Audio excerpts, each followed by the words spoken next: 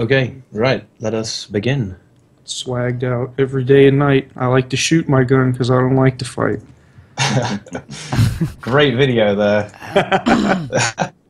what a music! What a music video. Did you watch that one? I yeah, I watched it the whole way through. Oh my god. There's just something magical about Stitches.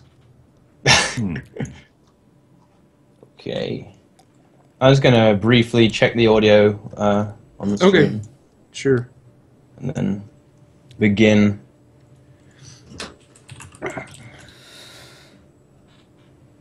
Oh, hey Lamau. Yeah.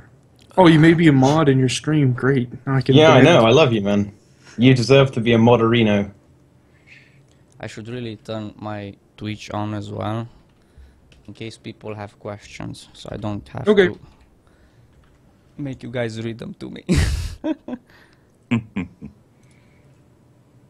Everyone's You guys are happy to see you. It looks like Nemesis. yeah, and I cannot see that. Oh.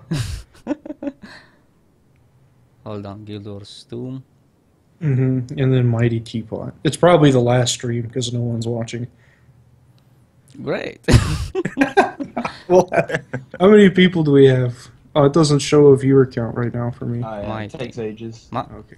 What's your stream name? My, I'm searching for Mighty. Oh, I'll I'll link it. Hold on one second. Let me let me put it in Skype. There's a lot of streamers. I didn't even realize how many streamers. I put a link in Skype. And Make sure to viewers. make sure to minimize that uh, chat bar in Skype too, because that will like mess up all of your windows. Okay.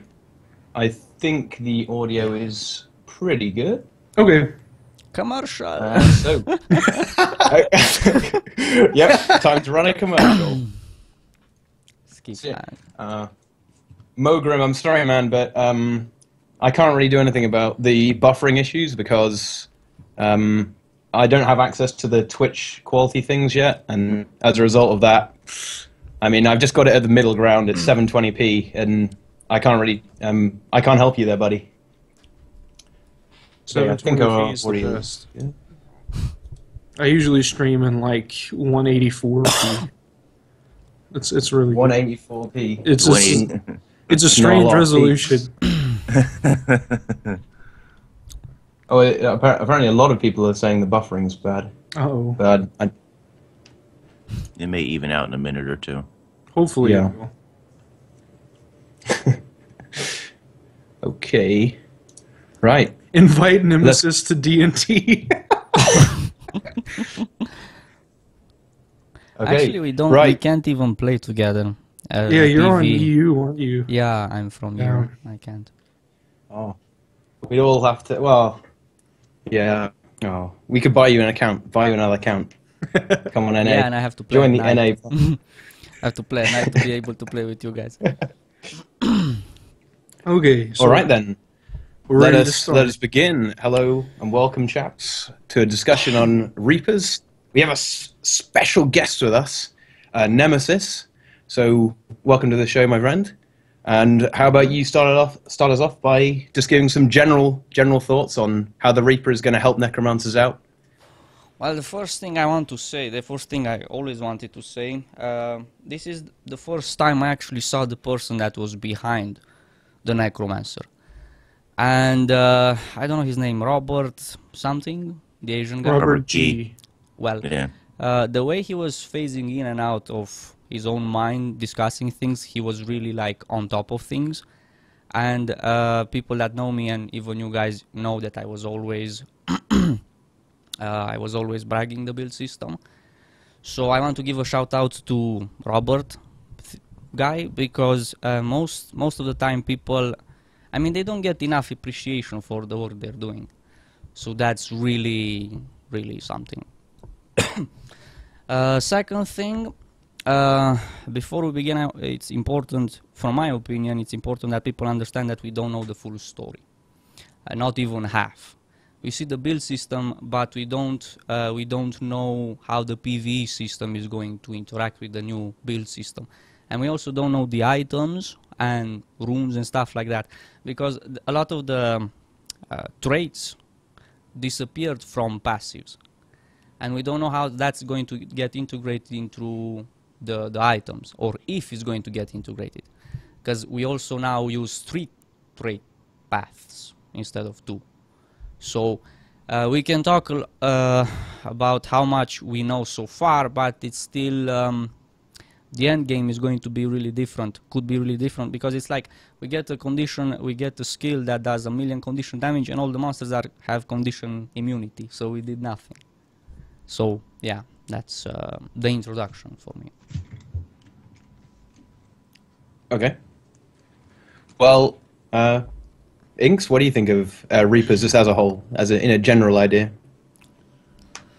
Um, you know, like like Nemesis was saying, I, for PVE anyway, like Nemesis was saying, we don't know what Heart of Thorns has in store for us just yet. We don't know how those encounters are going to interact. We don't know how uh, you know challenging content. We don't even know what that is yet. Um, all we know is it's not the Wyvern fight. You know, other than that, we don't really know what that is. I think we can speculate a bit that ArenaNet is walking away from dungeons at this point, uh, or at least they're not focusing on it for the next year or so. And I think Fractals is going to be their new uh, focus point over dungeons. Like I think Fractals are going to continue to develop over dungeons, unfortunately. Uh, so you know you have to ask yourself how you know how are builds different in fractals than they are in dungeons because they're not exactly the same. It's not a one to one ratio there. In structured PvP and in World v World, uh, I think Necros are. I mean, in World v World, Necros are already pretty decent or strong. Uh, it's certainly in like Zerg play, they're going to get even stronger with the Reaper. I feel like it's going to you're going to be able to change the way that you currently play. Like my Power Well Necro is going to be even stronger, and I'm going to have access to. I'm going to have more staying power uh, than I currently do. Position is going to still be important, but I don't have to sit at the side of the battle. I can I can get in there a little more. I think. And uh, structured PvP, I don't know. I, I think that you know at, at high level structured PvP, power necros or necros in general just don't currently have a place in the meta uh, for conquest anyway. So, yeah, I don't know. Maybe maybe they have still have a place there. Reaper, I'm a little concerned because they're it feels like they're one-on-one capabilities, and this is just looking at it in a bubble, right? We, you know, mixing with the other core specializations is going to change, but uh, yeah, they, they could have a place. I think they could have a place in uh, in a higher level of structured PvP. That that whole meta is going to change anyway, so at an alarming rate. at an alarming rate. Yeah, yeah. It's very true. All right, then But, you know, round us off. I think it's gonna be a lot. I think it's gonna be fun, and uh, I'm looking forward to seeing the changes to blood magic as well, because that's gonna be a big. Mm. Depending on what happens there, that's gonna be big. Yeah. Well, I think. Oh, sorry. Oh. Go ahead. no, were you gonna? If you want to say something in reply to that real fast, go for it. Oh, Yeah, I was going to say that's definitely something. Maybe we should even talk about right now. I mean, the lack of uh, supporting shouts. It's still mostly offensive, and they don't they don't really help your team out a whole bunch. Yeah, I Uh, I want think to it's- talk about yeah. that. I prepared something when we get to it. I don't know if we are there yet. Oh well, I mean, I you, we could go there right now. I mean, Yeah. do you do you Sounds think fine. that? uh, Um, I I got a lot of feedback. A lot of people sent me emails, and a lot of people said, "Why aren't you upset about the fact that we didn't get any uh, offensive buffs, like something to help the team, especially for PV?" And I kept uh, telling people more or less that uh, if we get more proper PV, I especially remember in the beginning when they were talking a lot about the mechanics of Guild Wars 2. The I don't know his name, Colin, Colin guy. He said especially that um, they created this entire build system, an entire world to have more dynamic fights. That's why buffs didn't take. You don't have buffs that uh, have a duration of 30 minutes. They didn't want people to stop and rebuff. And contrary to what they originally wanted, that's exactly what's happening. And it's even worse because you have to keep rebuffing because the buffs are so short you cannot do them on the fly to get the full benefit. They were supposed to be done on the fly. Like when you're fighting, you get a bit of debuffing, a bit of buffing, and it's real dynamic and really engaging and really fun. Well, that's not happening because of the way PV is right now. But if you get more challenging PV and stacking loses its effectiveness, we can buff on the fly and we can debuff on the fly. And I always say the Necromancer doesn't need to get like more mobility to be turned into a second Elementalist or more blocks to be turned into a second Guardian. It has to be equivalent. If we are all Elementalists, then we don't have balance. This is one class. Balance is when you have diversity. So the fact that we didn't get any offensive buffs, uh, we got debuffs, so it evens it out. And we can only speculate that the PV system is going to be the second half, like the yang to the yin. So I'm, I mean, I'm speculating and I'm hoping that that's going to be the case. I'm not sure because they failed the first time, but who knows? so. I mean, would you do you think that some changes to blood magic, possibly interacting with the shouts, could possibly give them a more supporty side? Seeing as we know blood magic's going to be, well, they you know they're re- redesigning it considerably. Uh, do you think that's going to yeah, make it and it's necromancers really a bit more friendly? Because I remember Robert guy said something about Reaper and doing spamming Death Shroud AoE s- skill and combining it with the trait that now gives healing on Life Blast, so you can heal your party. And I'm like, yeah, that's really cool. And I was looking through the new build system and I don't see the trait anymore. I'm like, why did he mention healing and doing AoE healing and stuff when the trait is gone? So I'm, I'm not sure uh, the the misinformation, but it could be there, like some sort of playstyle when you're siphoning from the enemies uh, into your group, like you're the siphon, the the middle ground between enemies and hmm. your group. That would be again something we never seen before in MMOs, not even in single players. So that's it could be it could be done. I'm not sure, but yeah. Okay. Right. In that case, shall we move on to the Reaper itself? Should we talk about some greatsword skills? So, the auto attack. I think this is a very, very interesting, interesting auto attack. Uh, the fact that it's really slow, uh, but also it inflicts a disgusting amount of chill on the the third swing. I think it means that I re- um, that Reapers are going to be very sticky, very very sticky. Uh, you know, if you allow them to get close to you and get that third attack off, it's uh, they they have easily enough time to hit you another uh, three times to reapply that. Uh, and I think that's a really interesting way because instead of just giving them gap closers, oh yeah, boring, boring, boring, they've men, they've designed it in such a way that you, you instead of giving the necromancer more mobility, you limit the mobility uh, of your opponents instead. And I think that's a good way of uh, going going about that. What do you guys think about that? I think it's really cool. Like, uh, I think the trait, I think it's called Chilling Darkness too. Whenever you blind, it applies chill, and then you have your spinal shivers and traits, and you could like great sword with spinal shivers is hilarious because you can just like executioner somebody down to fifty percent, and then it triggers a spinal shivers and it takes boons off, and then it chills them again, and I think I think like you said, I think it's really cool, and I think the idea of like not necessarily having gap closers. Well, I guess you kind of do because the Necrocopter Death Shroud, the number two that spins and it chases after the person. I think that's cool too. So you can like, I don't know. It just it seems really awesome and the chill and being able to blind in PVE situations. I guess if you, I think it was Greatsword number four. The one that brings down the cloud and like the ground gets dark and blind pulses and stuff. Uh, if you can also apply chill on like trash mobs and enemies, uh, and chill them as well while you're blinding them, I think that's incredibly useful. I think that's it could potentially be better than like maybe just a thief blinding or maybe like a sandstorm on an elementalist, something like that. I think that's a really interesting kind of wild card that got thrown in a little bit. I think that's that's pretty fun.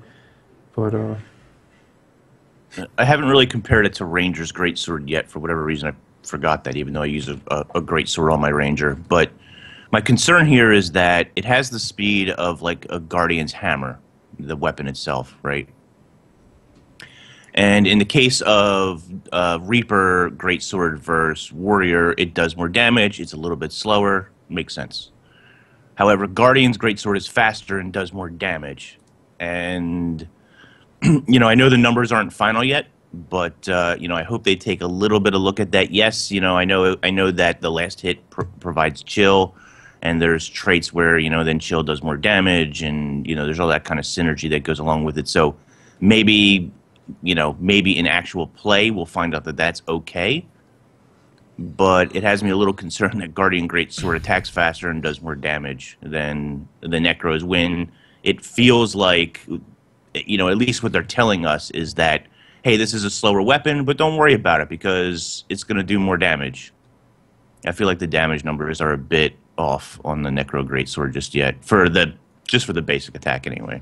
Well, do we? It looked like they were probably using a soldier's amulet because they weren't critting very often. That's that would be Yeah. my guess. I can't imagine it was like a sentinel's amulet because that'd be weird. But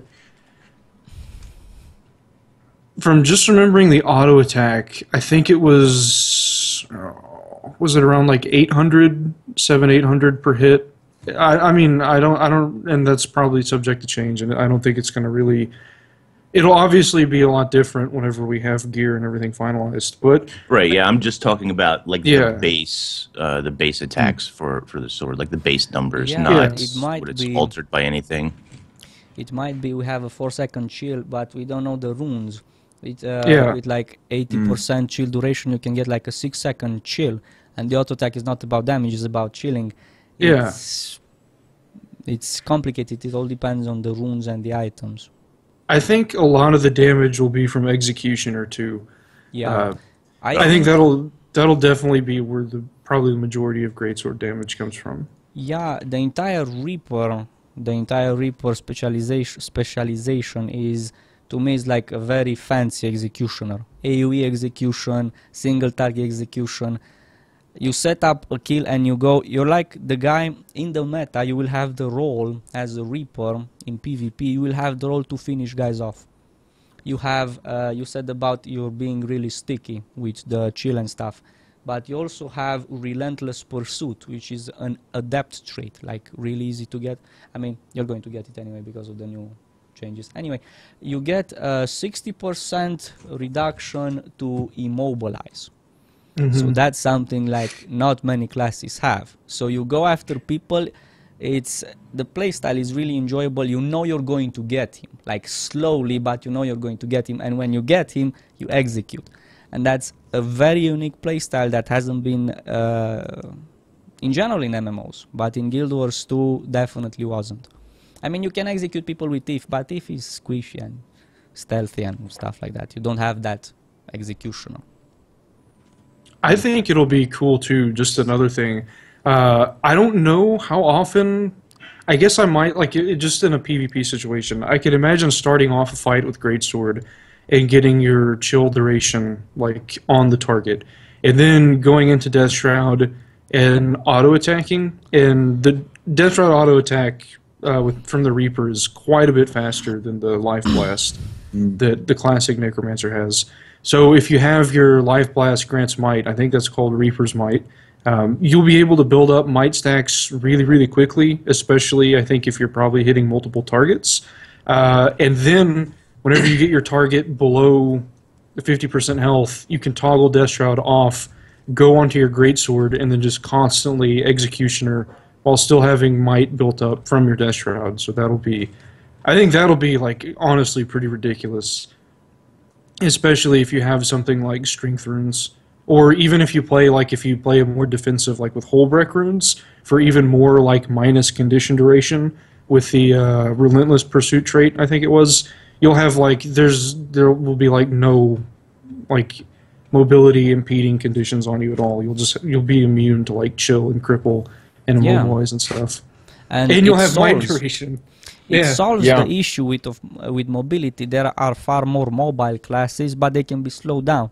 You're not that mobile, but you cannot be slowed down, so it evens the odds in a very not in the Yeah. same way. Like I said, we are not supposed to be the same as a guardian or an elementalist or thief or something like that. Yeah. Yeah, I, I think that um, the the fact that it's not symmetrical, I think I consider that to be good design rather than bad design. Because, like you were saying at the beginning, if everyone's just got the same stuff, then what's the point in, in having uh, having professions? Really, you know, it's, it's if everyone does the same, that's that's no fun. No fun at all.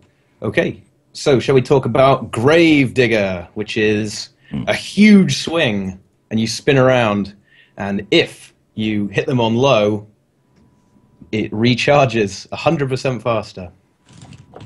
Yeah, so strong. just spam the hell out of it. That's, until that's, it's Yeah. dead. I'm going to say right now that's OP.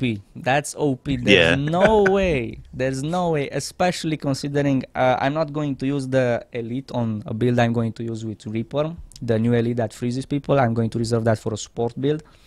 And recently I developed this support power build. I keep saying I, I'll do it.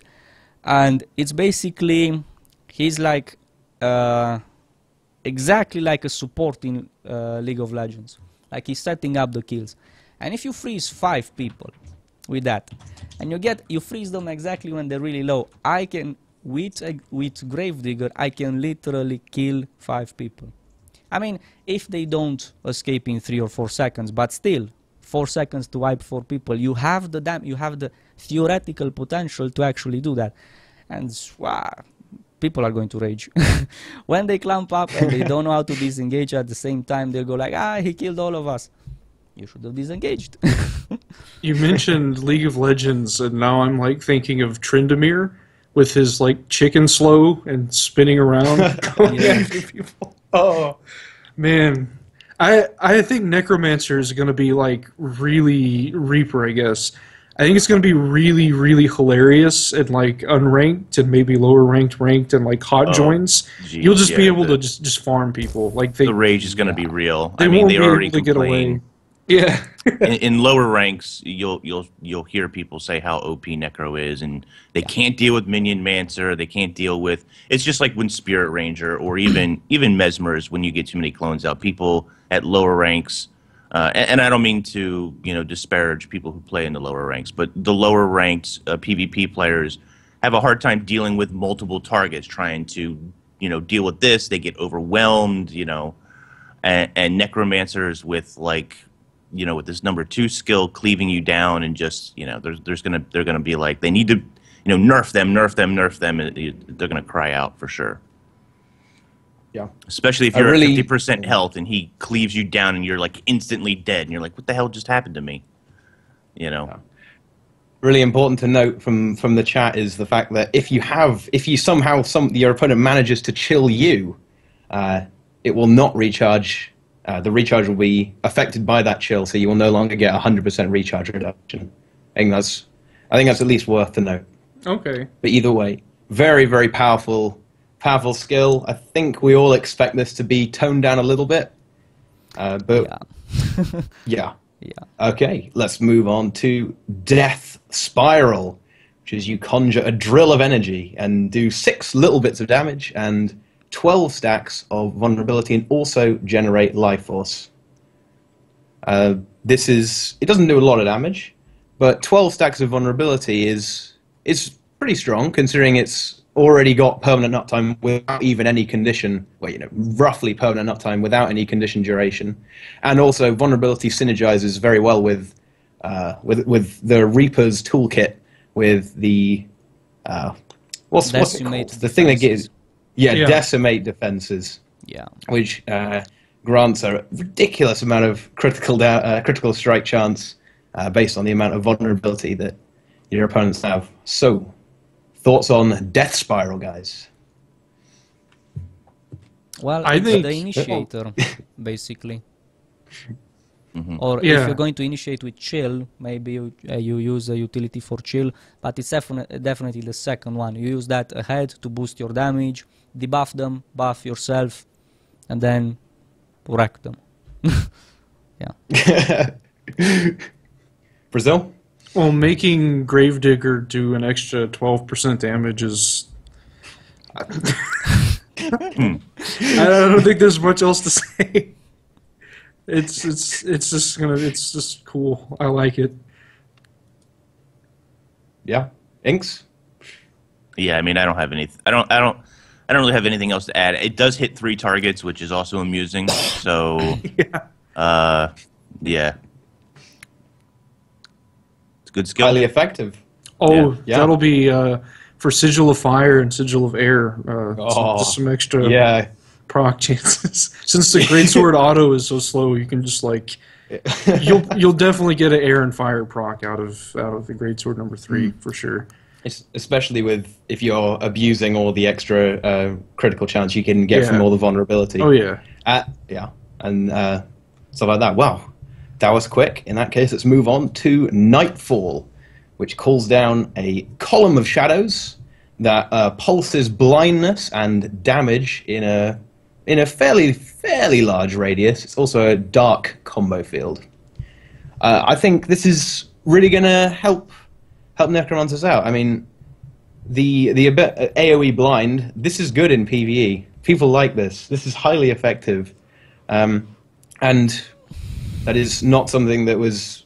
Oh, I guess they had Well of Darkness before, but this Yeah. is just another way that they can they can get this going. Uh, make all the creatures kind of flail around and miss you and do nothing. Well, and this one's changing too. They said uh, Mhm. Nightfall. I don't I don't remember exactly how they said that they were going to change it, but I remember that they said they were going to change it. But I think it's cool. I think that'll also be like if you're defending, say, a point in PvP, uh, and they come up to you and you have chilling darkness, you can nightfall on the point, cover up most of the point, and they either have to like get off of it or stay on the point and be blinded continuously and also chilled at the same time. And then if, at that point, if they try to leave, like you can just kind of wail on them because they'll be chilled and you'll be able just to stick on them. But I think it's I think it's pretty cool. And again, in PVE, uh, for dungeons or for anything that's going to require like groups of mob kills where you're going to need blinds or going to want blinds. That's just I think that's I think that's really useful. I, it's definitely better. I think Dagger Four uh, is a little bit of a blind, and you have Well of Darkness, but they're just they're not that.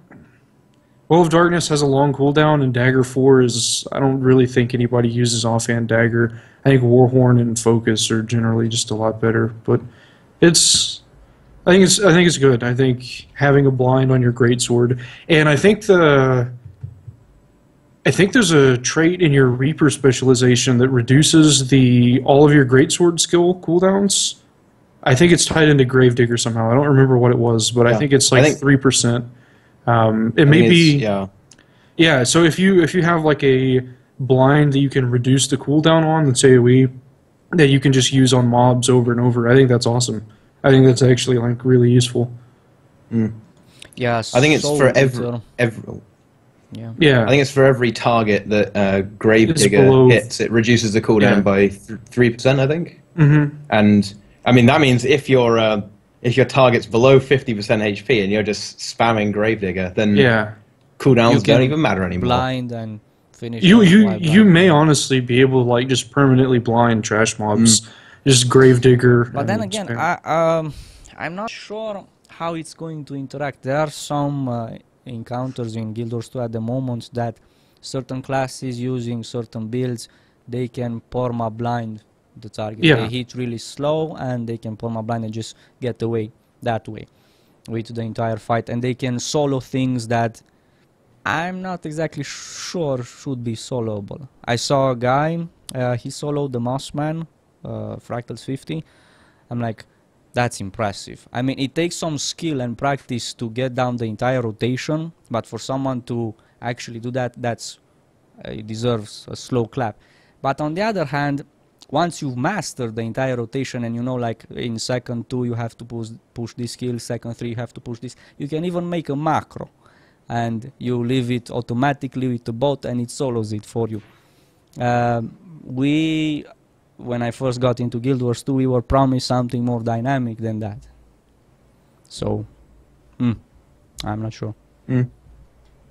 Yeah, it's not it's not desirable if you if you give a profession tools that just trivialize everything. But yeah, I think with the, the, the way they're going about the content in in Heart of Thorns, I think that's going to. I, I think from what we've seen, that will it will certainly alleviate some of the problems that we've seen in the current version, where you know everything is just you can just blind it or uh, dodge everything, and it, it just completely makes everything really really easy. So I, I'm I'm I'm not so certain that this is going to be a really big issue in the expansion. Yeah, I think they've probably I think they've had plenty of time to learn from dungeons and learn about people doing dungeons and whatever. But yeah, I think I think it'll be. I think it's cool. I like it. I like the uh, idea of the blinding. Okay. In that case, let's move on to a very iconic skill for the Reaper, Reaper's Grasp, which I, it says it tosses out scythes, but I think it tosses out uh, kind of claws. It looks like claws to me. I don't know about scythes. Yeah. Yeah, it looked like which claws pull, to me as well. Little, little pull your allies to you, uh, gain life force for each foe struck, and also applies 10 seconds of poison. Uh, I mean, it's the opposite. Well, it's a gap closer, but in reverse. you yeah, know, uh, exactly. you- exactly. No, I mean, I, range? I personally enjoy this playstyle. I never like classes that you have to spin around and move around so much that you can't even find yourself. I played with some guys. I'm like, dude, what happened? He's like, I don't know which is me. I got confused in all my clones. Uh, I prefer the slow moving heavy hitters. And I'm like, I'm so going to get you, I'm so going to get you. And now I have the tools to bring three or four guys, which synergizes. We all know, we all, we are all, we, we are all thinking it synergizes so well with Gravedigger. You have three Yes. people leaving, you bring them back, slap them twice.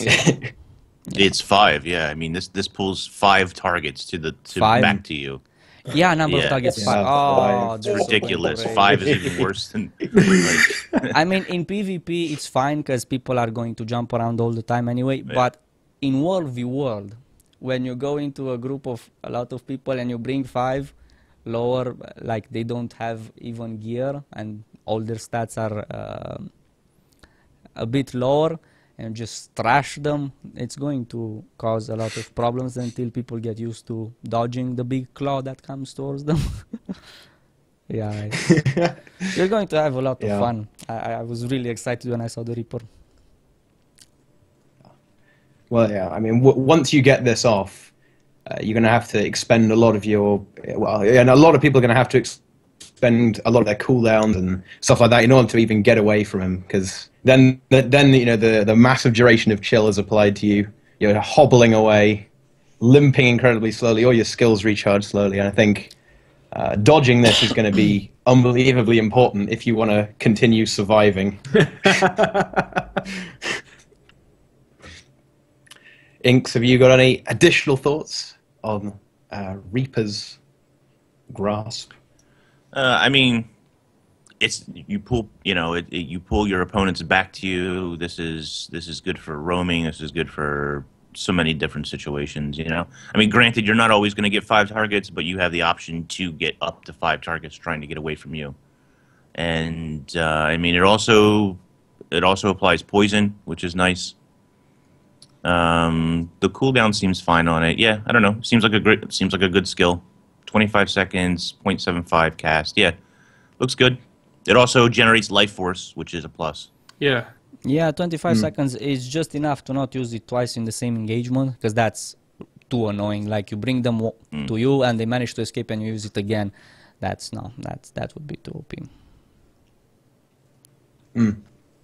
All right, then. That is all for the weapon skills. Let's move on to the new pro- profession mechanic, which is Reaper's Shroud, which gives you a massive scythe, uh, and you spin around a lot. Lots of spinning here, even more spinning to win. The new auto attack is Life Rend Slash and Life Reap, which is uh, a cleave, another cleave, and then a spin. Uh, but the spin, uh, well, all of this inherits all the traits that previously affected Life Blast from the conventional Death Shroud. And I think it's also worth uh, talking on the fact that Life Reap, if you're hitting two or three targets, that easily provides enough that you're not hit. You can stay in life uh, And Death Shroud. in Reap's Shroud in, indefinitely. Yeah. So yeah, who and wants to it start goes us with off the on damn this one? fire. It goes with the Doomfire. Mm, You create, you create, you generate bleeds, and every hit you generate AOE Doomfire, as I heard it. burning. Yeah. So you can pretty much go in and keep burning everything, which stacks. So it's going to be like a whole nother way of farming. Mm. and the the the speed of this chain is actually pretty fast as well. yeah, I mean, it's really fast. uh, you can stack yeah. like pretty well. Yeah. There's also a trait that makes it 15% faster. So when I saw all of that, like it it was pretty fast to begin with, but the 15% like Yeah. I'm I'm really excited about that because right now, like, I love playing Death Shroud Necromancer. I, I love that build a lot, and at the same time, I also love daggers. Just playing like a power dagger build and not focusing on Death Shroud so much. Um, mainly just because of how fast the daggers hit, and because you can use like your locust swarm and your wells and just like chop people with a dagger, and it's it's fun. I like that. But now it's like you're getting both of that because you attack really quickly, but it's also like huge AoE, and it builds might, and you're in Death Shroud, so you can like have your second little health bar too. It's it's really cool. It's like they, it it feels like they combined, I guess, aspects of that a little bit, but just made it so much better. It's it's really awesome. I'm I'm really really happy about how the auto attack specifically works. I think it's cool. The mm. only thing, I guess, the only thing that I'm like disappointed about remotely is the fact that the scythe is like blue and that the eyes are blue. I wish it was like a really lime green color. If it was that, I would never play any other class. I'd just only play Reaper. yeah. It's like uh, about being uh, uh, not disappointed. I don't know the word for it now because I'm English. Um, when I saw they gave us like three trait paths at the same time, that's when I the first idea I'm like, oh no, no way I'm going to get everything I ever wanted, like crit chance, crit damage, uh, condition damage, and condition duration, everything. I'm like, what the hell? And then I realized the passives are going away and we get new items. And that's why I said about the items, we don't know the stats. Because uh, if the stats are not going to be smaller than before, they should be higher to compensate for the lack of passives.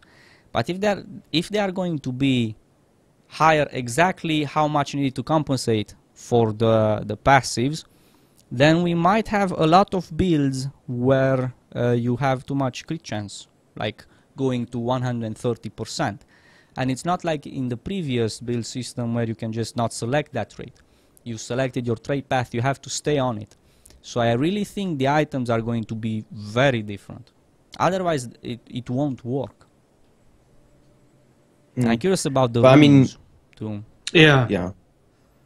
Yeah. Because of all the critical ge- uh, strike chance generation, you can just pretty you can discard that completely when you're selecting what equipment to use.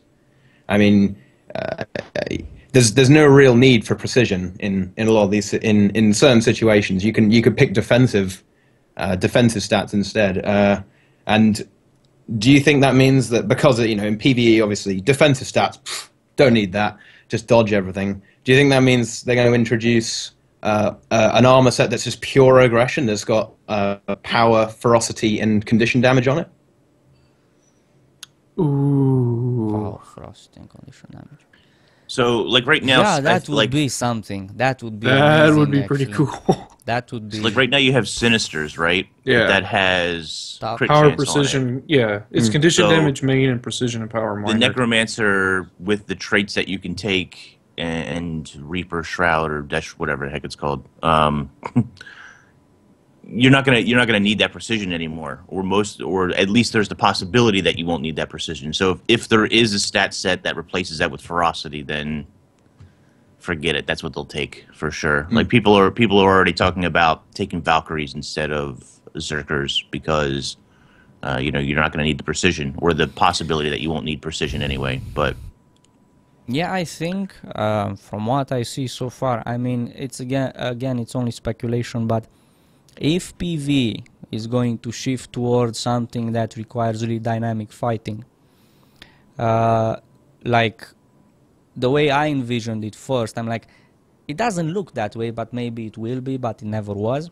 And I was really disappointed in the beginning with Guild Wars 2, but it was still the best choice considering everything else. Um, if we get like um fights that require heavy AoE fighting, fights that require dodging, and we mix that together, and every single individual has its role in the team. One is tanking, one is siphoning, one is supporting, one is bursting single target. You guys know what I'm talking about with uh, real time uh, blasting into stuff to generate buffs and other stuff like simply amazing the most dynamic fight you don't even get that stuff in single players like amazing um, then i'm uh, huh. never mind i forgot what i wanted to say i was in the moment fuck it was really important It's all right. Yeah. Ink, yeah for you, would yeah, you yeah, be? yeah, nah, you be I, I got oh, it i got it he's got I'm it. back. I'm back. No, I think that pure builds, the definition we have or, of pure builds right now are going to disappear. And I think we're going to have only hybrids. And by that I mean, I don't mean we're going to have uh, condition damage and power damage at the same time. No, I think the Zerkers are going to compensate for the squishiness with some other mechanics. And the old glass cannons are going to have like okay, I'm half glass cannon, half really infiltration to compensate for my glass cannons. And the most, uh, the classes that will have the most damage will be the classes that have damage, power damage, and condition damage. Or you have like power damage and tankiness, or power damage and support, or condition and support. There's different variations. I don't think that the old pure builds are going to exist anymore because they actually can't. You have three trait paths now. There's no way you'd select three trait paths to improve just power. There's no way. You're going to add something. I mean, in Necromancer at least. I, I, I would like personally. I would like to see that. I'd like to see the possibility of meta uh, hybrid builds that don't just focus on on one thing. I think I- that'd I be mean- cool. Yeah. yeah it's it's really amazing if if we get something like it's so hard to balance something like that because you have to consider pvp as well. But they might everything uh, because they they compress the build system. A lot of people are complaining like we don't have so many options now. On the contrary before we had this uh, we had more freedom but it was chaotic and the actual viable options were less. But if you compress it it's easier to balance and every single trait does something for something every single trait will be useful for something one for world world one for pvp one for something else and you can balance it that way it's still the illusion of choice but um, even in the chaotic freedom we had before uh, once you get the idea of the build, which build to use, you're going to use it every single time. There's no choice anymore. The real choice comes from structure, when everything is valuable. You don't have like a million options, but only one gives any profit. You have three options, and every single one is useful for something. So less options, but more diversity. So that's that's amazing. It is. Does that sort of thing excite you as well, Inks? Um, yeah, you know, I I, I think that uh, I'm. I mean, really, what it comes down to is I'm excited to see how you know what they're going to offer us in PVE, right? Um, I really, not just me, but I think all of us really need to know what challenging group content means. Uh, does this mean some sort of, you know, ArenaNet twisted, and I don't mean twisted in a bad way, but you know, their spin on some sort of rated, you know, rating system, uh, some kind of ten man content for guilds or uh, enclosed bosses. You know, I had a lot of fun when Triple Headed Worm came out, and uh, you know, I know I know Brazil was definitely there, and Nike and some of the other people from DNT had come along to help us on Blackgate to try and convince people to run heavier damaging builds because that's what that encounter required of you at the second phase anyway. And um, the problem the problem with an encounter like that in the open world, and we've now seen this with Vinewrath, is that it becomes difficult to control 30 plus people at each worm. So you're talking about 90 plus players at, at a single time. Trying to control them to get them to do certain things, to use particular builds, have a Condi team that deals with husks, have egg blockers that deal with that particular thing, mesmers for portals, et cetera, et cetera. It goes on and on. And because that was such a struggle, or because it continues to be a struggle for, for a good deal of people who just want to casually try it and can complete that content, you then have a boss like Vinewrath come along, and his fail condition is so laughably soft that it doesn't, you know, it's a fun encounter, but it doesn't, it's not really a difficult encounter, and it has some interesting mechanics. So I'm hoping that in Heart of Thorns, we can have instanced capped, you know, t- you know, 10 people or, or possibly 25 people, something like that, you know. Uh, these encounters that can be a little more sophisticated, and, and these encounters can also allow us to take a variety of builds, not just not just you know Zerker builds, not just condition builds, but you know some some sort of splice to help you deal with different phases of a battle. So that sort of thing, uh, and, and I think the specializations are starting to show us that this is possible, right? You have the Reaper, and you have Dragon Hunter and, and Chronomancer. They they all do specific things, but then they can all splice together, and you can see how they're all working in a synergy with one another. Uh, and that kind of makes me excited for what PVE in general can hold, as well as the other game types. But uh, as an addition to what you said, if they're really like godly theory crafters, they can develop um, a really meaningful encounter, like really hard, but uh, the type of encounter that can be done in multiple ways, like two supports for uh, fighters, or three supports, one tank, two zerkers, or something like that, and more than one way of doing it. That's um, that gives a lot of uh, longevity to endgame content or whatever the word is. Yeah. Okay, we we digressed a little bit there. yeah, we got Uh, off but- track. I apologize. Let's bring it back to the uh, de- the new Death Shroud, Reaper Shroud uh, attacks with Death's Charge, which means you slide forwards. I think, that's a, I think that's a funny choice of words. I like that choice of words. You slide forwards and blast an area. It's not a blast finisher though, so maybe they're going to change that wording. Uh, and poison everyone, do some damage, and do a little leap finisher as well on a six second cooldown. Uh, I think I mean- this is what they've done to make necromancers more mobile, uh, and I think it will it will accomplish that quite well. Actually, uh, the uh, I mean, and especially seeing as even if you're crippled or uh, chilled, you still go the the full the full distance as well. I think that's a that's a good thing. I, I mean, the the poison is a bit of bit of icing on the cake. I mean, I mean, I don't think that's a particularly important part of this, but I think I think it's more about the mobility and uh, good, a fairly good amount of damage as well. What do you guys think about Death's Charge? I think it's cool. Um, being able, like, if somebody, if you've got them chilled and you're working on them, or if you, they're contesting a point and you're beating them, and they try to disengage and get away, you just charge right back onto them, and I think that's really awesome. Um, I do really like how the Death Shroud number two currently works. Uh, how it shoots out the little hand and it touches them and it ports you to them. I I think that's really cool. I I think I'm gonna miss that mechanic and how that works right now. But at the same time, like this also, after you kill somebody, I think it recharges, or there's a trait that makes it do yeah, that, makes something it along those lines. faster. I'm not going to miss that skill because I have a lot of bad experience with people that are so fast that I'm using it at the right time and they blink behind this tiny little bit of grass and it says obstructed. By the time it Yeah. reaches, it's already in the air, it's already obstructed. Like, what the hell? Uh, I also want to point out that um, right here on Death's Charge, we can see that the Necromancer, the Reaper, is going to require high skill. You have to go in and out of Death Shroud to keep out with your mobility and the um, bringing of enemies closer, because you have skills that bring enemy closer. Uh, do you?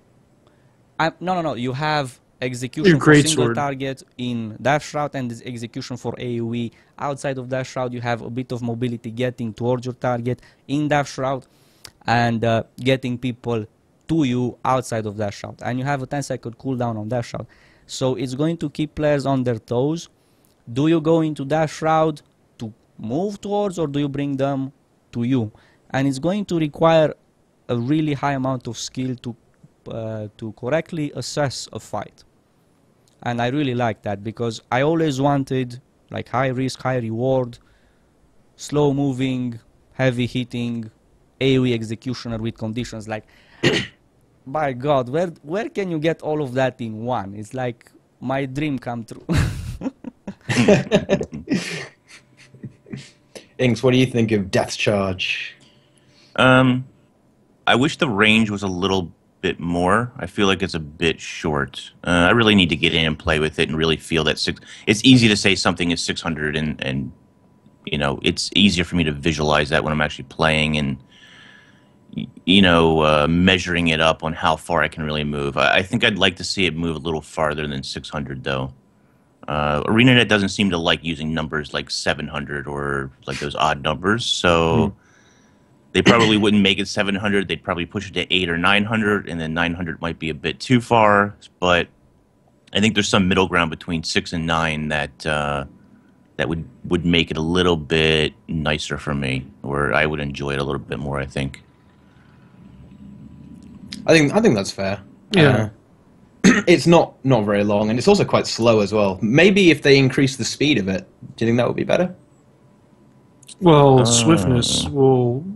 So, yes, with No, yeah, Swift, Swiftness I mean, doesn't affect this though. Oh, okay. So, so it's not affected by like movement hindering conditions like cripple, and it's Yeah. also not affected by swiftness either. I believe so. Yeah. Okay. Hmm. Can I just want to say a little something that I thought about? I just remembered again. In World v World, because that's the only place that's going to happen in PvP, only if you're really lucky.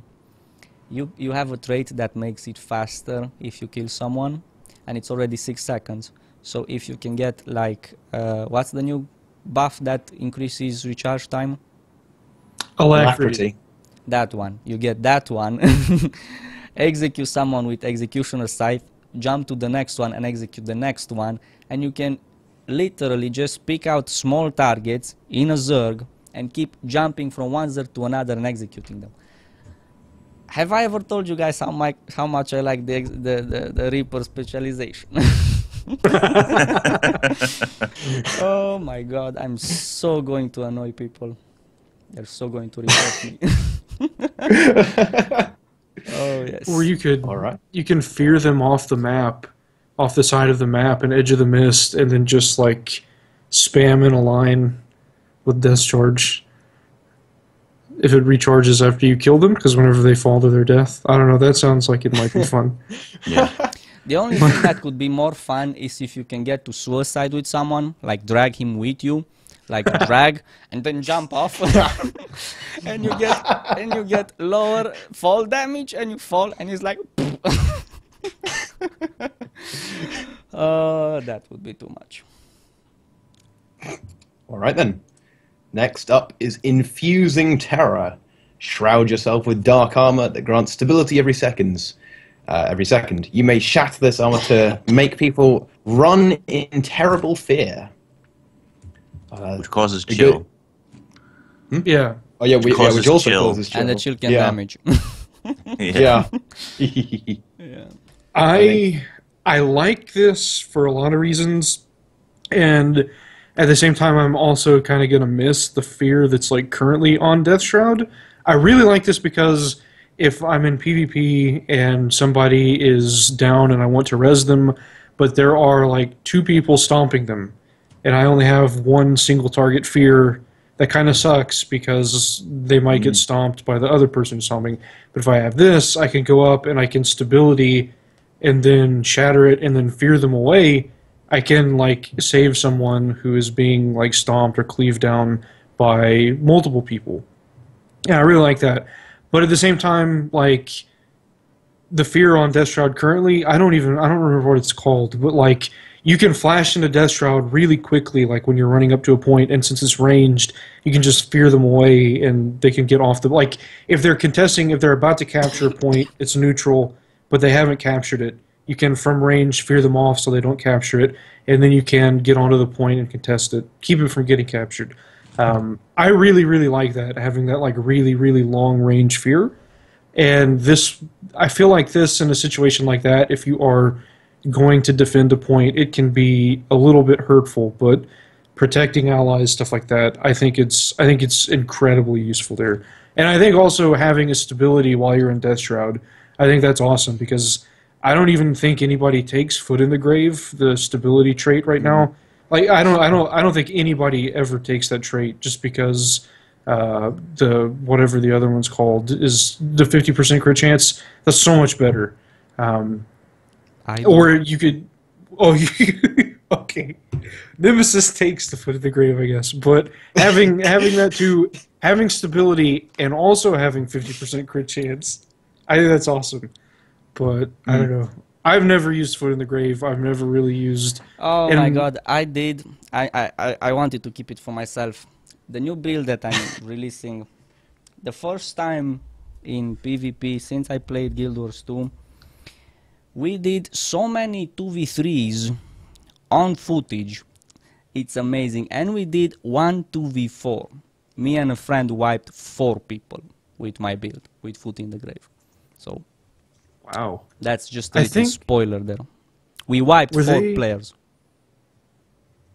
were they moving doomfire down into the last trait line or is that staying i don't i don't remember Yeah, they moved Doomfire down finally. They out moved of it, spite. yeah. Okay, Fine. so you'll have to pick between Doomfire, Foot in the Grave, and the 50% Deadly precision. perception, Yeah. And Okay, so yeah. with with this trait, if you go for more stability, you like the unseeable one. If you Yeah. go for more damage, you still don't get stun locked, which was really Mm-hmm. stupid if they didn't give stability. Because like, okay, I have damage, stun, stun, stun, stun, stun, and like, what the fuck? I never get to use it. So yeah, some really good thinking there. I mean, even Hmm. I'm not going to sound really cocky, but I would have never thought of putting stability and fear into one skill. Yeah. Well, I mean, I mean, I think that goes quite well with the the flavor of uh, necromancers, doesn't it? I mean, it, it's all about inverting things on your opponents and, and stuff like that. It just it just seems to make sense. I mean, what do you what do you convert? You convert stability to fear, right? Yeah. Or Yeah, yeah. All you the corrupt time. Stuff. yeah, there you go. So it's kind of like that, except not quite. uh, Inks, would you uh, do you have any elaborations on infusing terror? I mean, other than that, I, I like it a lot. I think that stability. I think giving stability here is extremely important, especially for the Reaper. Um, the fact that you can then pop that stability to fear first second is a great interrupt. I think there's a lot of playability in structured PvP here. Um, that's where I see its greatest use, I suppose. But uh, I believe fear now acts as for the defiant bar. Correct me if I'm wrong. I believe fear also takes a chunk off the defiant bar as well. Yeah. So I mean, this is a, this is another CC that they'll have in those situ- in those new situations where it's like, you know, boom. Here's a here's a quick little fear. It probably won't take a lot of that that bar away, but it, it's something, right? So there's that to consider as well, I guess. I, you know, I, what what it really comes down to is I just like all the options that we're getting here. There's so many choices. There's so many good choices.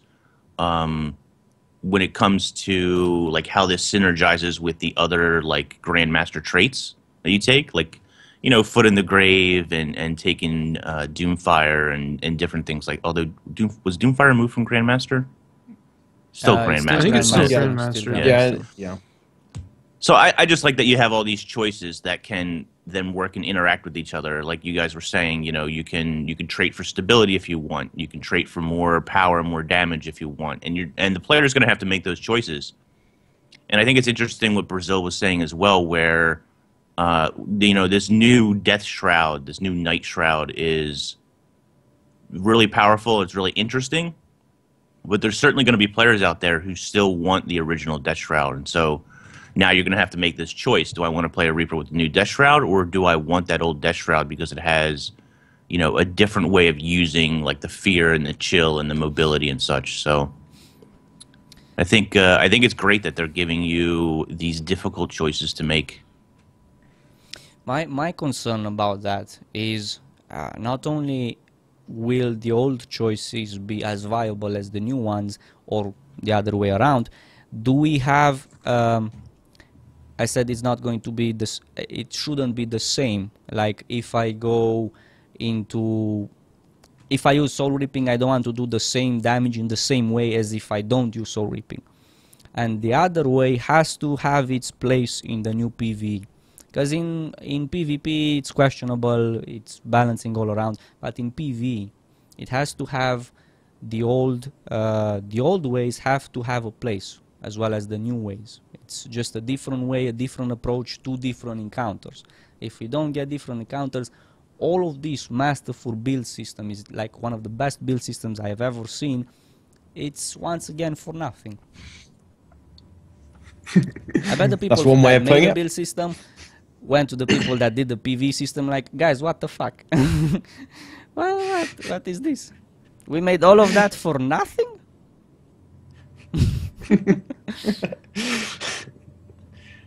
Okay. The fourth skill is Soul Spiral. Ooh. Totally traditional. Spin around wildly uh, for two seconds and hit people 11 times. That's interesting. Uh, in, a, in a pretty big area. I mean, a, a lot of the a lot of the skills in in the new Death Shroud is uh, they have a quite a, a quite a big AOE because the scythe is takes up about hundred percent of your screen. Uh, so so uh, as I think actually uh, I want to Does talk it about scale on uh, Charr? Oh, I think it was constant, wasn't it? Was the size know. constant? Because they had a Norn showing it off, right? they had a It human was- showing it off in that human. MMORPG video. in the right. in the live stream, it was a Norn. Well, at least the shouts were Norn Norn voice. Yeah. Uh, but the human, when they were holding it in that little lion's arch clip, the scythe was like going through the ground and stuff because it was so big. but I guess on a Norn, if it, I would imagine it probably stays the same size. And like on a Norn or like a Charr, it may not like clip into the ground as much, maybe because they'll just be bigger models. I don't know. But if if if it scales based on size, like Charr Necromancers, that, that'll be just hilarious. Like that'll be so big. Yeah. Mm. The zero will be dragging it through the ground because it'll be like five Asura tall. Yeah. No, you, you, if you want to play a Reaper as an Asura, you have to bring a friend as well to hold the size up. Side up. You- you- it's it's a two-player game now. Yeah. Just, you've got to per, you've got to be perfectly in sync as well. To swing the side, you need two guys uh, cooperating perfectly. This may scare people a little bit what I'm about to say. But when we're talking about like new stats, and I think this one if you go into maybe it's not even you may not even have to go into blood magic with this, but I think this heals allies when you spin. Or maybe it was blood magic that you could make it heal allies because it it, it, re- it replenishes your life force. I think. Um, so what I'm about to say is, what if there is a stat that's like power, ferocity, and healing power, and you can spin on top Oh. of enemies and like heal people and be that's that's that's a really weird thought. Like that's that's that's a really that will make Boots happy, I think, with his like vampire stuff. I don't know, like thinking about getting new stats and like not needing precision on Necromancer anymore is like it's really really weird. Um, but I don't know because your auto attack is going to build might and it's going to build vulnerability. So you're going to have vulnerability, and you also have like if you take the death perception and you have fifty percent, you could totally have another stat like healing power and just heal people with Death Shroud number four. That's kind of it's kind of interesting. I don't know. Yeah. Uh, uh, healing builds don't have. um I think for the necromancer at least, it's missing like another 10 or 15% to be viable. I mean, in general, because you don't really need that much healing at the moment in dungeons. But even so, uh, in a proper dungeon, I don't think it's there. I don't think the support is quite there. It needs another 10% to be worth it. Uh, the support is, like I said, to offer DPS uptime. So if you cannot offer that DPS uptime, just add another DPSer, and you all have lower DPS uptime, but overall you have a higher effectiveness. But who knows? who knows the new encounters? Maybe healing per se that is not that much required. Maybe it's healing and debuffing and healing and blinding or whatever or CCing or who knows. It all depends on the PvE. The the cooldown on this strikes me as fairly high. It's on a 40 second cooldown. Uh, I, I don't know. I would I would like to see this come down a little bit. I think. Uh, I'm not sure. Not sure though. Would would that make it overpowered or too strong, especially with all the synergies that we were just talking about? Yeah. If you Yeah. could like, if you could go on top of like if I don't know, like if you're in a team fight or something, and you could just constantly go in and like spam that and heal people with like healing power, that would be kind of stupid, I think. But or like just generate your life force if you could just constantly spam it while doing like lots of damage. Uh, I don't know. That that'd be kind of The tooltip damage is really high. And Yeah. since it's a multiple hit, you benefit from on hit effects and a lot of stuff. That's that's Yeah. really weird. What I what I really liked about Guild Wars 2 is that every single skill uh, has uh, its place. Like single target skills have their place. When you're fighting two monsters, you don't use the single target, you use the AoE one. When you're fighting a boss, you don't use the AoE one, you use the single target one, and they all have their place. I think with a lower cooldown, it's not even worth it to use single target, uh, single target skills anymore. You just use the AoE one for everything. So, yeah. Okay. In Yeah, and, case, and the that's- cooldown the cooldown is the same as as life transfer as well. So Mm. it's yeah. uh, and I think it actually I think this one actually hits one or two more times in life transfer. I think life transfer is like eight.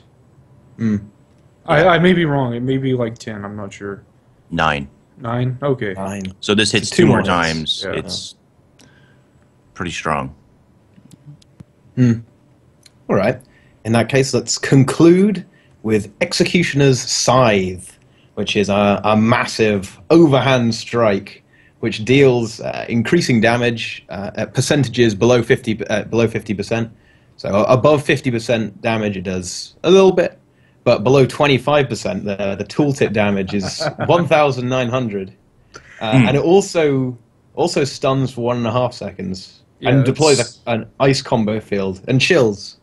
So it, this has got everything, you know. Yeah, especially with the stun.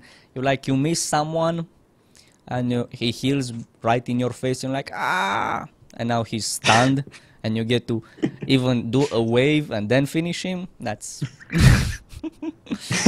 today I did some PvP with my new build, and some guy was trying to kill me so much, and at one point I stopped and I, and I wrote stop it. and then I left. Oh my god, I got that on camera. It was amazing. Mm. Someone said in chat that this skill should be unblockable. That oh. well, you can make it unblockable. Wait, yeah, Yeah, I you can could make, it unblockable. Yeah. If you, I don't know what you do, you have unblockable. Yeah, if you, you get them with the AOE stun, you get Yeah. unblockable or Mm. your next few seconds. So you AOE stun them, and then you unblockably stun them some more. oh man. Uh, But, I, th- no. I think the oh oh I was going to say that the I think the ice field is really nice as well because it, I mean if you can keep them in that that's going to apply an awful lot of chill and you can also get frost armor as well by using uh, death charge as well uh, through the ice field which I think is really strong because uh, you, there's already a trait that you take less damage from chilled targets and ch- chilled last longer. But then if you have frost armor as well, it's another 10% uh, damage reduction on frost armor. And whenever they hit you, they get chilled. And then if you've got protection as well, I mean, just think, you're not going to take any damage. Infinite health. My That's one hell of an exploit. There's already a lot of, in my opinion, there's enough punishment for blocking targets. There's nothing that punishes perma evade crap. That's really annoying. Mm. Yeah. There was a time, there was a few uh, encounters, and I'm so sorry. I did a PvP video when I showed how I get zerged, basically, and I have no chance. and uh, I showed some thief that totally crushed me in 1v1s, even though in 1v1s I mostly win. And there was another thief, even better than that one. I chased him from mid all the way to my uh, close with scepter auto attacks. And I couldn't hit him once. He reached my close faster than me. By the time I got there, he went back mid and I was following him. I did like 8 auto attacks and all of them were evade. And I found the footage after I published the video. I'm like, I'm, I'm so going to put that. I couldn't hit him with Scepter auto attacks and he has like 0.5 seconds cast with an aftercast of I don't know 0.2 or something like that. 0.7 I couldn't hit him once. he didn't even go in, in stealth. He was like toying with me like ha ha ha ha ha. and he's he was in a game in a guild called uh, Focus Necro only to troll the hell out of me. I, th- I think that the there's quite a long wind up on this skill. Yeah. Uh, is is that a is that an issue, or do you just simply combo it with the stability The and stability from number don't three. even care. Yeah. yeah?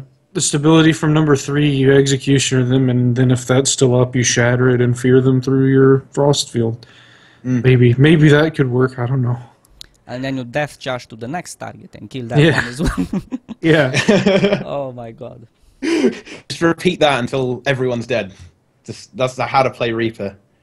Kill, death charge, kill, death charge. This reminds me of the new. They made a. The thing they do. Uh, they made a macro for Katarina in League of Legends, and you can spam skills faster than normal. And I saw Katarina literally wiping five players, just blinking so fast. I had to slow in slow motion. You can watch it on YouTube later. It's uh, it automatically jumps to the next target and I don't know, it just does like this on the screen and everyone dies. I'm like, what the hell? it's a really weird hack slash macro, Mm. and yeah, you can do something like this in World v World. I know someone's going to try. yeah. yeah, Shall we briefly uh, talk about the abundance of whirl finishes that necromancers now have? I mean, you can put down the ice field there and spin around wildly and shoot off chilling bolts. That's great. Chilling's good. But I think what's really interesting is the amount of uh, whirl finishes with dark fields because that's going to uh, give a hell of a lot of sustain Yeah. uh, to necromancers because you know you can be spinning. I mean, nearly constantly with Gravedigger and constantly send out uh, you know leeching bolts which will steal health. And this is this isn't confirmed, but it may be the case that uh, life stealing, ju- just stealing life, will restore uh, health to you while you're in Death Shroud. it's confirmed. Yeah, It Oh, is yeah. now yeah. it, It's- uh, yeah, that's confirmed. in that shot. Oh. Yeah, which is Behind the curve, guys. Yeah, it's I think that is huge is for- for absolutely Necro. huge. that's Uh, I mean, huge. yeah. I mean, with the number of hits that you get off with uh, the number of hits from the spinny spin, and with all you know the vampiric uh, sun blood magic, that's a, a lot of uh, a lot of health stolen and stuff with uh, you know sigil of blood and leeching and stuff like that. Uh, you know that's a, a serious amount of sustain, and then if you add in the combos to that as well, I think uh, Reapers not that easy to kill uh, by any means. Yeah. The, Anyone want to comment on that? Well, no, I was I was thinking about that earlier, and I just didn't think to mention it. But yeah, like fighting someone on a point and putting down Greatsword four, and then just spamming Gravedigger, you'll be able to like just heal, and it's it's funny. like it's, it's, it's just it's great. Like, and especially if you take like you could take like a caval. I think Cavalier is toughness, power, ferocity. I may be wrong, Yeah. Um, but sounds right. I think I think- I that's think that's I think right. that's what it is. Chev- And you you have a you have a big health pool on Necro naturally, uh, so you can take like a Cavalier's amulet, and you can put on your vulnerability with Greatsword three. You can put down your Greatsword four, and now suddenly you have all of this toughness, and you have whirl finishers in a dark field that you can reduce the cooldown on, and just spin and heal yourself. You have a high health pool. You have toughness. You just have like, you have like this tons of sustain and survivability. Just like, this is like here, have this, and you get to just kill people like all the time. It's it's awesome. That's Yeah, that's really really cool. yeah, it's it's really awesome, but you're still lacking the mobility, and that's Yeah. the weakness of the Reaper. And I don't mind that. I always like to play like I want to feel on my Necromancer if I master it. I want to feel like Sauron going against an army. You know, it takes a while to walk there, but once I get there, I want to hit and people go flying with high skill, high um, what's it called? High skill, high reward, something like that. I don't know. Yeah. Mm. Yeah. Yeah. It's, yeah, it's excellent. Yeah. I think Yeah, Yeah, someone someone Yeah. in chat is asking what's preventing someone from interrupting all this stuff that we're talking about that you're doing. And I mean the truth is nothing. Nothing is stopping you from interrupting or evading or dodging or getting out of the way. I mean that's what that's what the that's where this the the skill play comes into pl- uh, comes into action here. I mean there will be some stability so you won't be able to necessarily stop all of those things. Um, and that'll be important to necros. That's why stability is important to necros. But uh, you know, some of these things have long windups, and you will be able to see that they're coming, and sometimes you will be able to dodge out of the way. But you know, it's the necro's job, it's the player's job to either avoid those hits or trap your opponent in place so that he can't avoid those hits. Yeah, and also you have lots of big hitting stuff, and you have chill, and I think there's if you take withering precision for whatever reason, and I think there's a shout that there's a shout that applies weakness now too, and weakness reduces endurance regeneration. So that's all like counterplay to counterplay against the Reaper. You can prevent people from dodging more. You can slow them down so they can't get away from you, and like it's it's I think that again like plays into just like high skill stuff. It's not just pressing one on the death shroud auto attack from like 800 range away or something. It's it's really cool. I I really really like how this is coming to be. Yeah, and that's really important. Uh, we can talk like really high level, and people have like 600, uh, 6,000 games played, know all of all of all of these things, even while sleeping, they're still playing. Uh, but the most one of the most important things, uh, the average player. I always say the average player. It's all about the average player, and especially in a game, in any game, it's about the average player. Is it fun? That's the number one question. Is it fun? If it's not fun, no funding, no future content, no nothing. And imbalance is not fun, uh, grinding is not fun, and um, even owning people, even, I mean, PV imbalance, but in PvP, if you don't have counters, if you keep owning people, people get bored. The, the fact that you have to, the fact that it's challenging and demanding is part of the fun. And of course, the fact that we look really badass is also fun. That's absolutely for sure. And uh, that concludes all the the weapon skills and the death round skills. And it's time to talk about some shouts. Some shits. Not not a fan. Not a fan. Brazil. Uh I don't know. I'm I'm leaning more towards not a fan, but I'm still I'm I'm still kind of taking the let's wait and see approach. But I don't know. We'll have to see. You know, I think The I think me and Brazil talked about this before this was officially announced. You know, we did a lot of speculating, and we were both excited for, I think, more group synergy, more group support shouts. Hmm. So it's always a little disheartening when you really put all your hopes in one basket and want that want that to come true, and then it's like the total opposite of what you were hoping to get. Yeah, whenever I that's that's that's I was specifically hoping for like party buffs or stuff like that Right. from the shouts.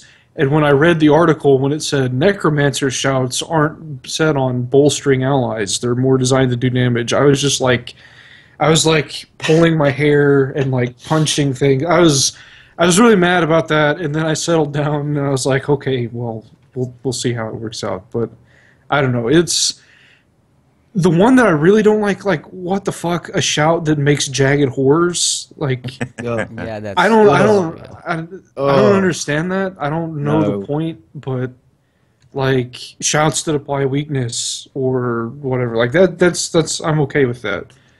But in the I don't the healing shout. Yeah, I don't, I, I don't like the healing shout. Uh, Yeah. I, it, I think in almost every situation it's just subpar. Really, I mean, uh, if you're only hitting one target, it's it's terrible. Yeah, and, and granted, like unexpected things, like in PvP, um, this is I guess PvP related. Unexpected weird little builds always kind of come around. Like I'm sure at some point, for like a brief period of time, there's going to be like a shout sword like necro meta for like two weeks where like everybody's playing soldier runes with shouts and like constantly removing condition and like healing from greatsword and stuff like something weird like that. But like that's all i ever expect that shout to like see me play in like some like kind of weird gimmicky build that comes and goes that no one really thinks about. I honestly i think consume conditions is just like i think that's just going to be the heal skill that everyone uses or antitoxin spray either Yeah. one Maybe healing well in a support build, but that's about it. yeah I, so Uh, I take it. You know, so, go ahead. I Go ahead. Personally, when contrary to Brazil, when I saw that we are not getting party buffs, I'm like, yes, I was really happy because I, like I said in the beginning, I don't want to have Necromancer turn into a Guardian or something like that. yeah I want to And- debuff. Now, I'm not particularly happy with these ones, but the idea is there. I'm really happy Yeah. with Chill to the Bone. That's like really happy, and That's nothing the can save you is okay. The elite Yes, one is chill yeah, to the, the, bone. the chill yeah. to the bone, Mm. and nothing can save you is okay. But w- I'm guessing we'll get to that uh, when we go one by one. Yeah. Yeah, I take it we're all agreed on the, the healing skill that it's it's not So- that great. the healing skill, your soul is mine. Uh, it's definitely lackluster. I think it would be nice if the healing could scale based on the number of targets it hits. Uh, in addition to the life force that it gives, maybe maybe increasing the heal by about 500 more health would make it uh, would make it a bit better. I think. It, it's I think a chat chat Twitch chat source of wisdom, as always, has made some really good points. If you have the trait that reduces the cooldowns when you for each target you hit with a shout uh, and stuff like that, and the fact that when you're in uh, World versus World or Yeah. Stronghold, for example, when there's a lot of targets always available, uh, this is something. I mean, I'm being told by chat that it's 13 seconds. This is on a 13 second cooldown. Jebro I think that- says the heal increases with the amount of targets. Oh, it does as well. Okay, so okay, maybe it's not as does. bad as we're Yeah. thinking. Did was that listed somewhere? Because the tooltip I don't know. suggests otherwise. We are looking at the tooltips, and it doesn't say here that it does. Because if it does, that's Mm. that's kind of the thing to take in World v World. Yeah, yeah, Just Yeah. that sounds fair. yeah. In that case, yeah, I think it has. In that case, it definitely has a place in in certain situations. So we've all been enlightened here, but there are more shouts. You are all weaklings. It, it does a tiddly bit of damage, and uh, it uh, in, inflicts conditions on them, giving you boons per foe struck. So it puts weakness on everyone, and then gives you four stacks of might for each target. target so that's twenty stacks of might. Uh, this is effective. Uh, the duration isn't that long, but you can with with runes and stuff like that, you can stretch this out for a, a pretty good time, really. Uh, so I think this is actually again, if you know, if, if you're in one v one, it's kind of there. It's all right. Uh, but if you've got two people, two lots of weakness, eight stacks of might, then you know. I mean, that's what they were emphasizing is that the the shouts are kind of okay with one or two targets, but they really come into their own when you're dealing with uh, larger fights. And I think I think this shout is probably the epitome of that. I mean, 20 stacks of might, and then maybe you unleash your uh, scary spin to win attacks and just kill everyone in one hit. I mean, that's what's going to happen here, I think. But what do you guys think? Yeah, in the in the duration that that might last, if you're attacking somebody below like 50% health with Gravedigger, I think you could you could probably get off like two or three grave diggers with that. Two of them. Yeah, with the duration, and then if you have like strength runes or something on top of that, maybe like a third. I think that's that's pretty good.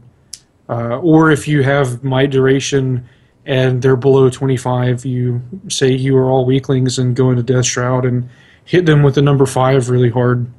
Boom, like that could. If you can get the might to last long enough, I think that would be pretty funny. But yeah, I think this is this is probably the shout. I think that maybe I like it the second most. I think the Elite's probably my favorite. Right.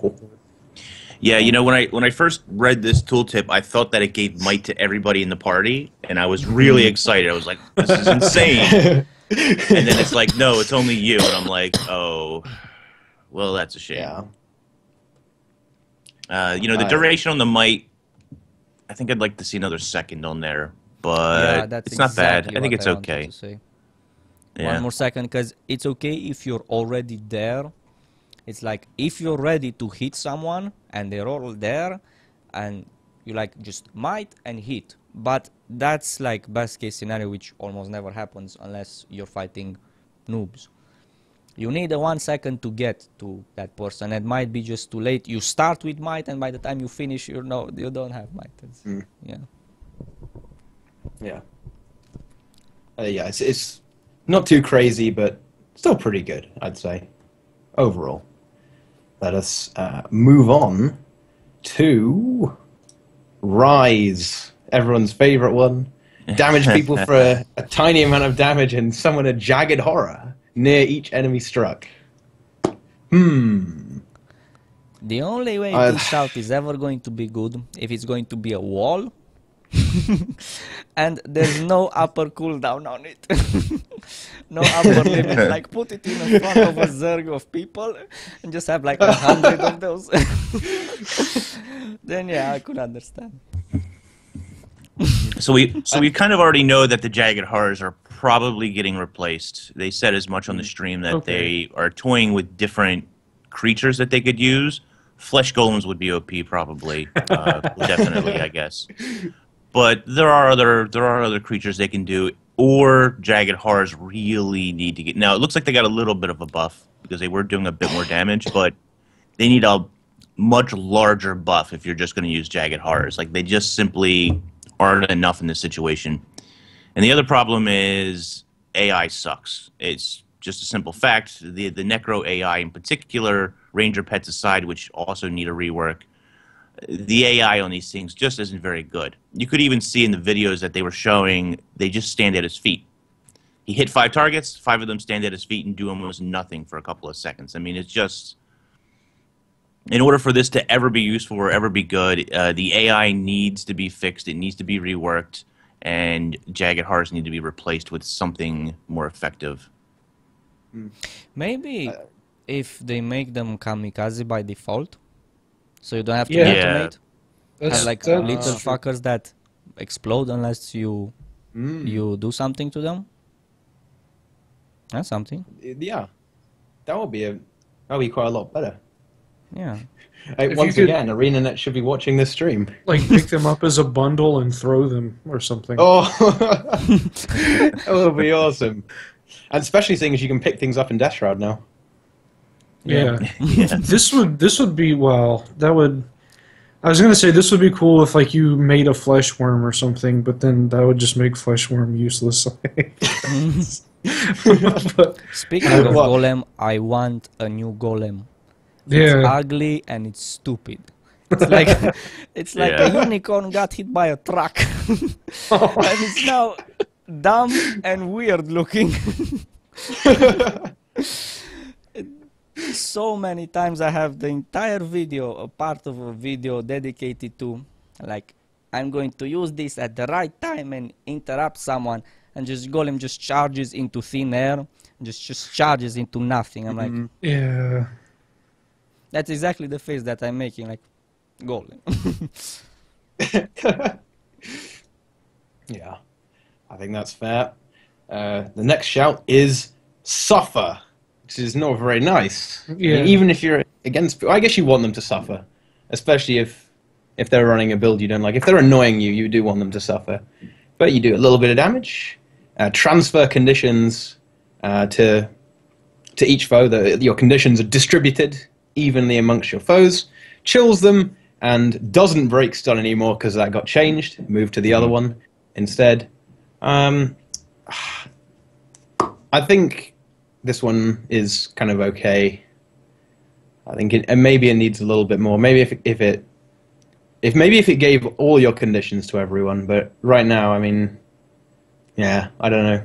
I don't think it's particularly strong. Thoughts? You know, I I would like to see this. Um, you know, I, I know that we don't want to have too much synergy here, where you're, you're. Let's just scratch that thought. So, suffer basically what I what I think suffer needs is that I think it really should cause all your nearby allies to transfer a condition as well. So, like one condition from allies to enemies would make this stronger, and uh, I think it. I think it should channel a little bit faster. Seems a bit too slow. Uh, one and a quarter seconds is a long time. Yeah, Uh, I agree.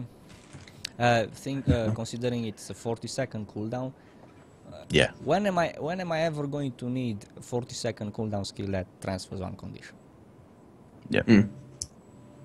Yeah. Uh, you, you, you've got consume conditions for that. Yeah, And that's got a, exactly. That's, much better cooldown. yeah, if It, it just doesn't do anything. doesn't have a place really. Yeah. Yeah. Needs a buff. Right. Yeah. It Needs a should buff. make it should make jagged horrors as well. Oh, just merge them together. Actually, that's not a bad Ju- idea. Yeah. Everything should make Yeah. jagged horrors. Just yeah. lots of them. Just Every single Except shout also spawns attack. jagged horrors. that will be awesome. Okay. Nothing can save you. Now, this is a fun one. You damage foes around you, converting their boons into vulnerability. Your attacks become unblockable, and the duration of the unblockableness is increased based on the number of foes struck. So it can it will give you a minimum of five seconds and a maximum of nine seconds of unblockableness. And it will also give you uh, uh, on your opponents five vulnerability stacks for each uh, boon removed. It does two bo- two boons each, so you need three enemies to fully ma- uh, you know. Uh, yeah, I think this is really good. Yeah, it's crit chance. It is unblockable for like your death shroud number five or something. Uh, is- I think it's I think it's a really cool shout, uh, and the boon removal too. Like if you, you if you say you have the spinal shiver trait and you're getting someone low, like an elementalist, they you're fighting them, and you manage to like take them down. They have all their boons. They have their stability and stuff. You can pull off some boons with this if you manage to trigger spinal shivers. That'll take off more boons that'll put on chill, and then you can just like just sit there and spin on them with a gravedigger. Uh, again, like the conditions to be able to do that, that's like some like perfect storm scenario a little bit, but it's still a thing. And also like if you're fighting just a warrior that like goes to balance stance, so you can't fear them, you can just shout and take the stability off, give them vulnerability, go into death shroud, fear them away off the point or something like that. Uh, and that's I think it's pretty cool. I think it's a pretty cool shout. This, shout, this shout was the missing link needed to um, take care of entire. Uh, you know, when you have a single target that buffs itself, you have boon removal for single target. But when they share buffs, there's nothing you can do. You remove from the guy, and some other guy gives the buffs, the buffs back. And the well was not enough. Now with the well and nothing can save you, you can actually handle teams that go into full buffing and there is no way you get the buffs off of them. Now you have how. That's why I like nothing can save you. It's really nice. Mm. I'd, I'd like it to be about a 0.75 second cast time over one seconds, but uh, otherwise I agree. This is a good one. Yeah, I think th- this is uh, other than the elite. I would probably say this is the. I, I would hazard to say this is the strongest of the shouts, especially considering you can reduce its cooldown as well if if you want that to happen. Yeah, And also a really good point from Galk the Bloody.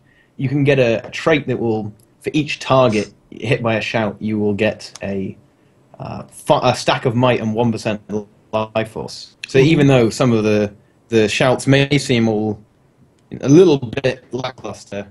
If you can grab some might, that's pretty strong as well. And obviously, life force. Life force is always good. You sound like you're dying in Skype. I'm not sure if that's just like me or. No, If your he's- internet's he, has some issues with his internet at times. I, Okay. But it yeah. gets back after one second or so. I think because it's Okay. he's streaming as well. Yeah, that's probably what it is. Uh oh. Did the stream die? know. Hopefully not. No, I think the stream's okay. Okay. Looks fine. I'm not sure. Okay. Okay. Uh, I think it's stabilizing again. Okay. You're you're Okay. starting to sound a little better in Skype. Do I sound normal now? Am Yeah, you sound you sound Yeah, fine now. Okay. Okay, right. Resume. Okay, where where were we on this one? I think we were Chill- about to go to the chill LD to the chat. bone. Chill yeah, to the bone. chill to the bone. Okay. Oh, stream is lagging. Uh oh. Oh. Well, did you use the shout on it?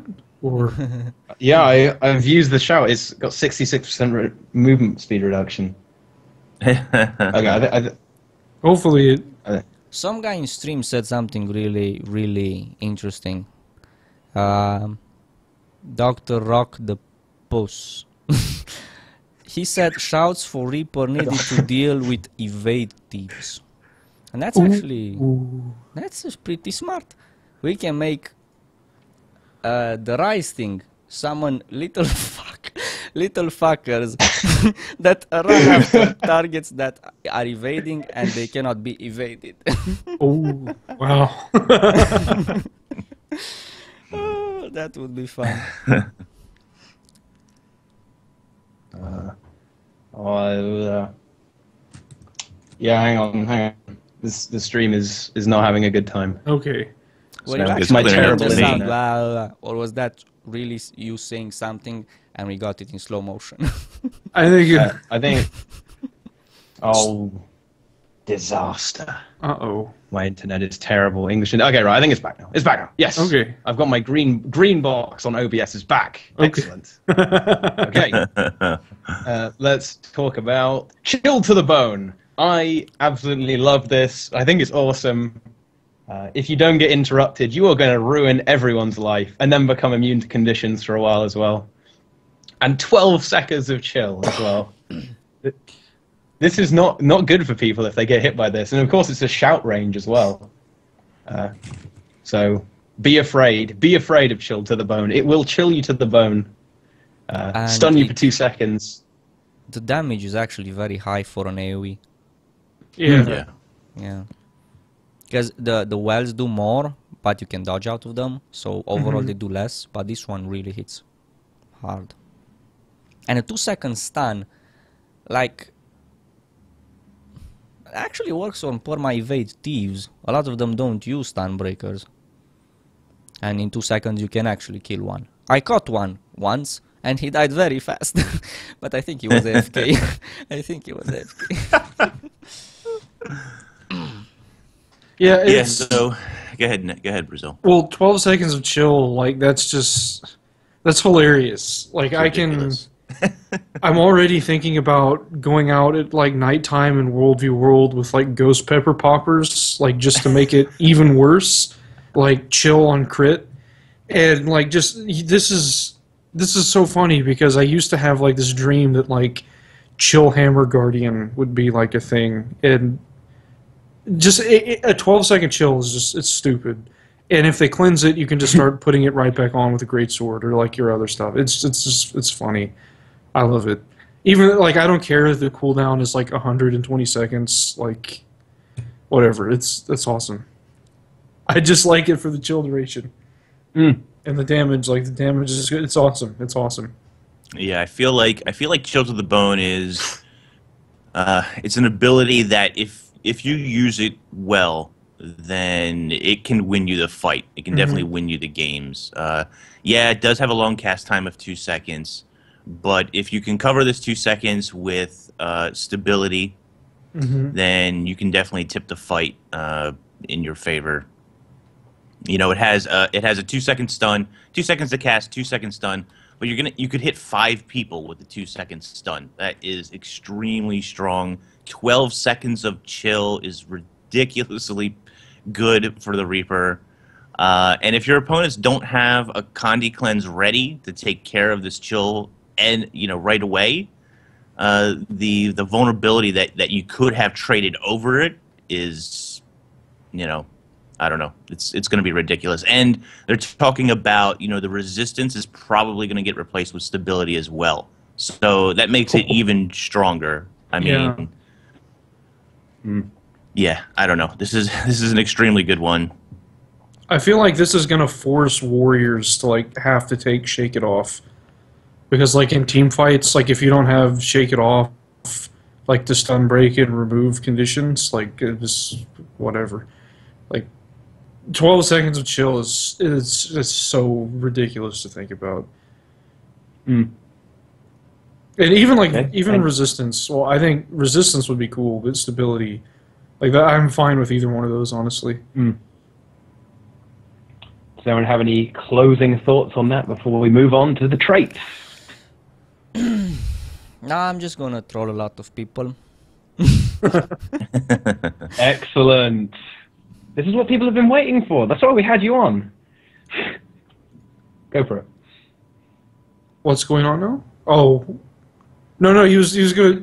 I think he meant They troll people. misunderstood. yeah, he's going to troll people with a shout. yeah. yeah, I'm going to freeze people Oh, I at really bad moments, like in air and stuff like that. You know.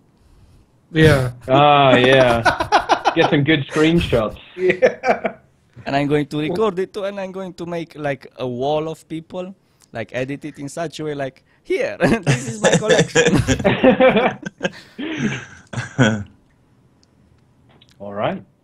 Let's, Before, right, right before we move on, chat's talking about this. I had thought about this as well, but people seem to think that I want everything uh, super buffed on Necros already. And you know, I think there are some buffs that need to happen. But uh, what do you guys think about the 120 second cooldown on this uh, on this elite?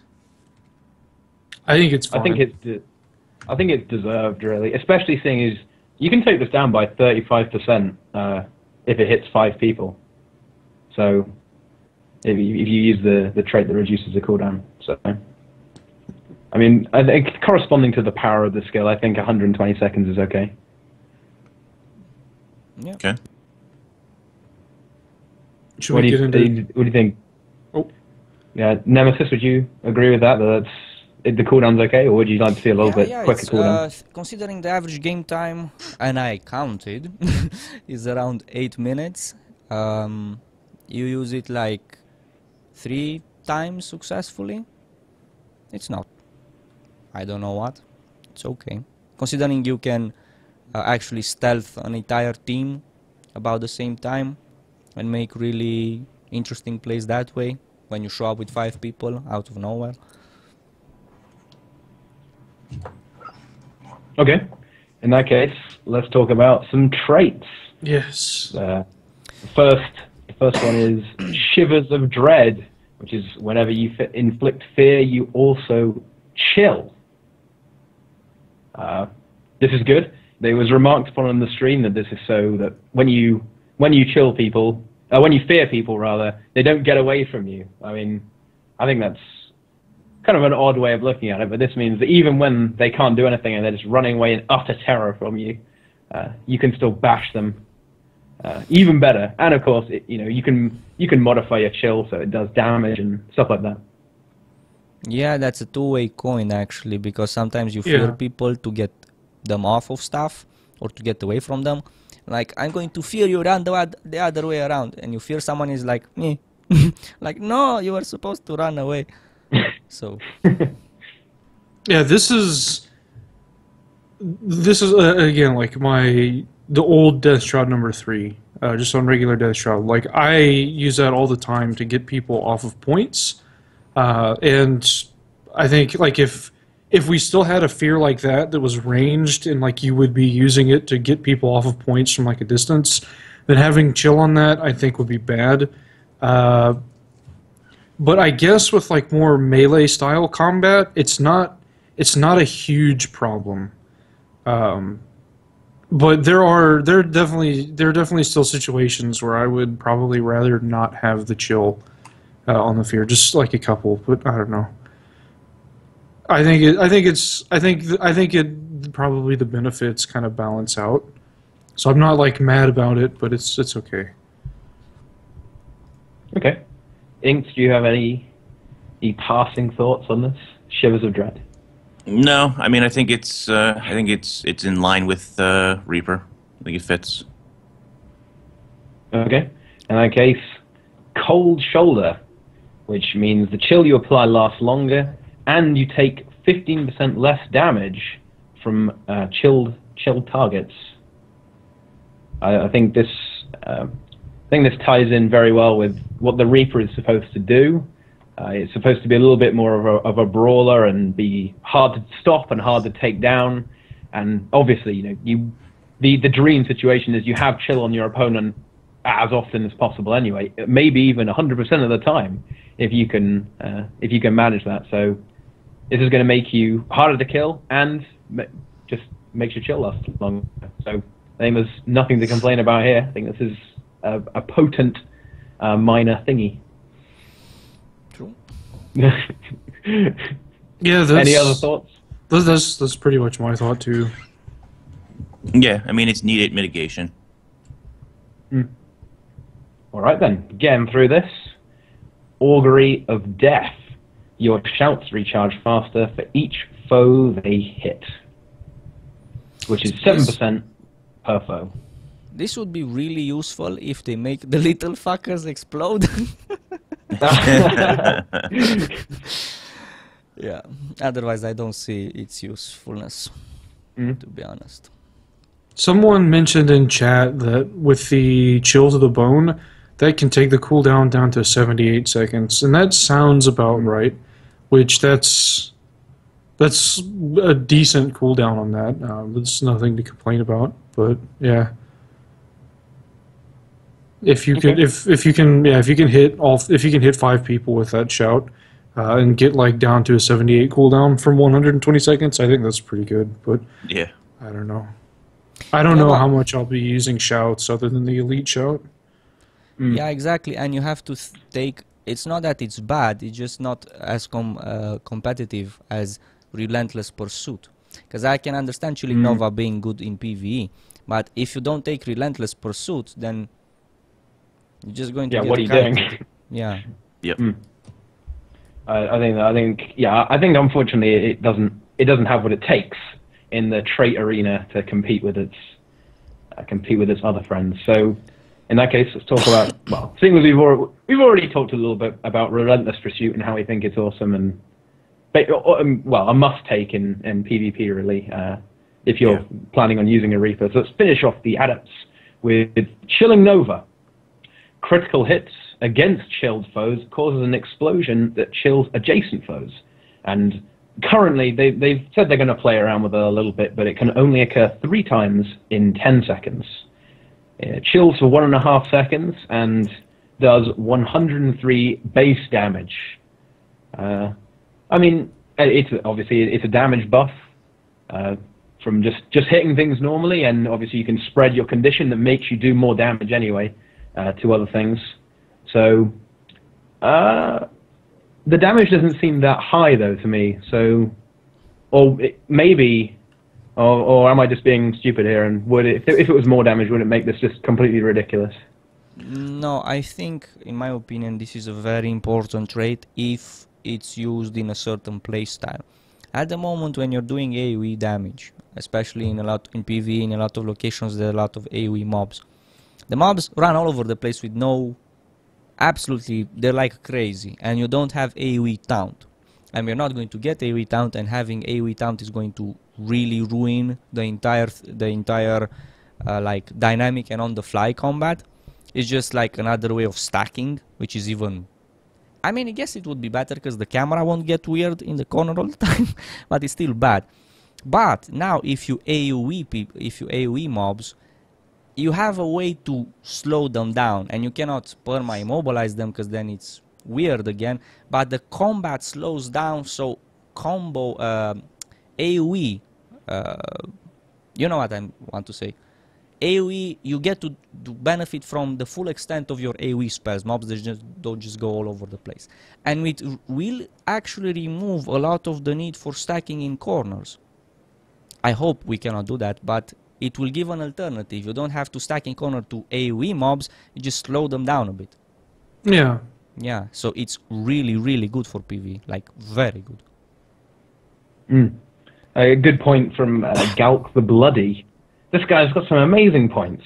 He points out that um, the the hit, the trait, um, this get, generates an extra hit for granting might with the trait that grants you might when you hit someone chilled. So, I mean, this is potentially you're going to get an awful lot of might out of this. Uh, as you obviously generate a lot of hits out of this, so you can e- very very quickly stack up all that might. So I, I think, yeah, this is very very strong in Yeah, and about that, killing we the have, things that aren't players. we have too much might generation potential, in my opinion. I can already in a lot of my in two separate builds I can stay like almost 25 stacks of might solo, and I have even more might now. I I, I don't know what I'm going to do with all of it. I don't think it's needed that much, but hmm. Okay. Well, shall we talk about some other traits then? yep. Chilling Force, which is just the uh, just the for, just the trait we were just talking about. Striking a chilled foe grants might and life force. Five seconds of might and one percent life force. I mean, this is going to make a lot of life force because in in situations and and obviously might as well, you can have someone chilled a very high uptime of chill on on people, and with every every strike, and there's no cap on this as well. There's no internal cooldown or anything like that. Uh, so I don't know. This is this is quite scary. I think this is an awful lot of might. in my opinion, um, it can work if you go with really fast attack speed weapon like dagger. And you stack your might and life force, really stack it uh, really high, really fast, and then finish with um, sigil of rage. Because otherwise, you're lacking the precision from decimated def- decimate defenses. But if you stack a lot of might on a chilled target, uh, from a chilled target, and then you switch, you benefit from 100% crit chance anyway, then yeah, that might work. Otherwise, uh, 50% critical strike, the potential for 50% critical strike chance is always going to be higher than 25 stacks of might. Unless you go hybrid. But then again, if you go hybrid, it's weird. I already I already scouted out the possibility of making a hybrid with a with a great sword, and I can only make an AOE hybrid. There's no potential for sing, single target in it. A very nice AOE target uh, AOE hybrid with burning and burning and more burning and more burning, but still no potential for single target. So Mm. I don't know. I mean, it's kind of. I always talked about not having the same thing. Uh, the the it's like choosing be, between a bottle of Coke and another bottle of Coke. But um, yeah, I don't know actually. Because we don't do that bad with Life Force Generation as it is. I mean, we do uh, when we are versus multiple. It doesn't scale. Our Life Force Generation doesn't scale, especially with the internal cooldowns on uh, what you call it, Spectral Armor. But this doesn't scale either. So I don't know. Maybe it will get changed until release. I'm not sure. Yeah, uh, they they were they were being they were implying that they're still playing with the numbers on this one, and you know maybe giving it a cooldown, maybe limiting the amount of times it can happen. Uh, in say in 10 seconds again, use the same mechanic as chilling Nova. Uh, so I'm, I mean, I think I'd be quite surprised if this didn't get tweaked a little bit uh, before release. Maybe if they Inks, add what do you- some, oh, maybe if they add some, what you call them, Mm, the little fuckers that explode. The jagged horror. Yeah. it also summons a jagged horror. oh, this will never get old. okay, uh, Inks, do you have any any comments on this one? Yeah, you know, people in chat are saying, and I, I believe Robert did say something about this probably getting nerfed a bit. Um, we we kind of mentioned it, but the you know the five seconds of might maybe that's going to be three seconds or something. I don't know, but uh, I mean this is extremely strong. You know, giving it giving it an internal cooldown might be a mistake, like people in chat are talking about. Um, so I'm not sure how I would feel about like you know maybe you can apply three might and then you got to wait ten seconds. I you know I, I think that's bad. I don't I don't really like that so much. Um, yeah, I don't know. It, it's really strong the way it is. I think it probably will see at least a small nerf, but uh, hopefully not too much of a nerf because I like this one a lot. All right then. How about Soul Eater, uh, which causes your greatsword attacks to steal health, and when Gravedigger hits a foe, all other greatsword skills recharge by three percent. So is, we'll, it's ridiculous. this is good.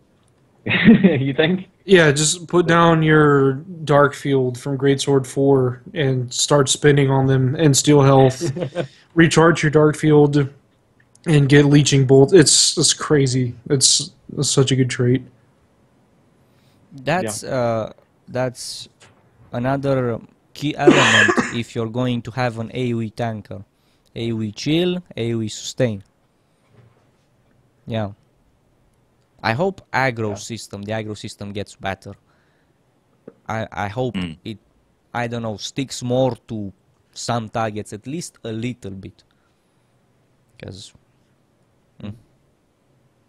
Yeah, and I mean, if you combine this with uh, some of the, the blood magic, the blood magic traits, I mean, with all the all the vampirism you can get there on all the hits as well. I mean, exactly. you, you can just be stealing an awful lot of health from people, and of course healing yourself in the process.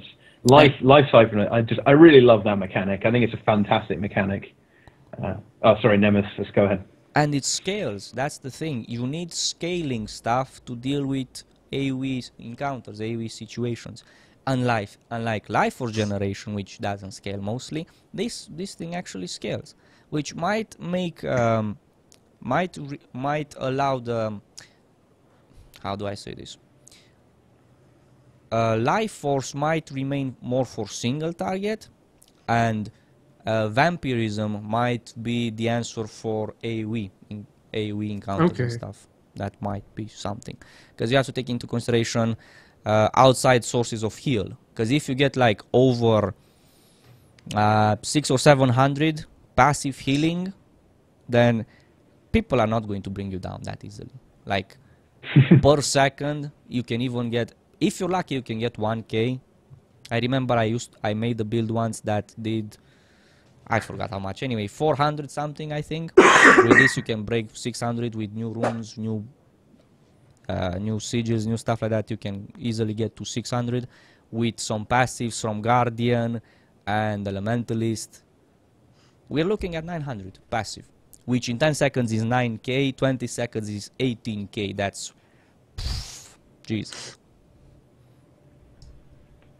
That could be. Yeah, we- this could we- actually be a bunker. Looking at this with so much healing, that could be a bunker. Lifesteal bunker. Yeah, Es- especially with uh, you know the fact that it will, you can stay in death shroud while this is happening as well.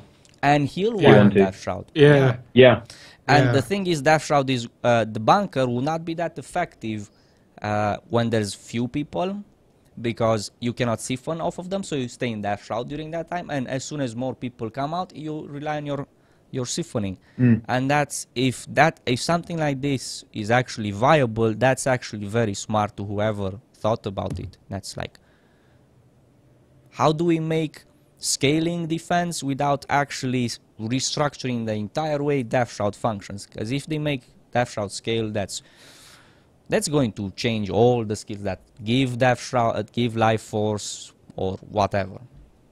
So that's actually very smart.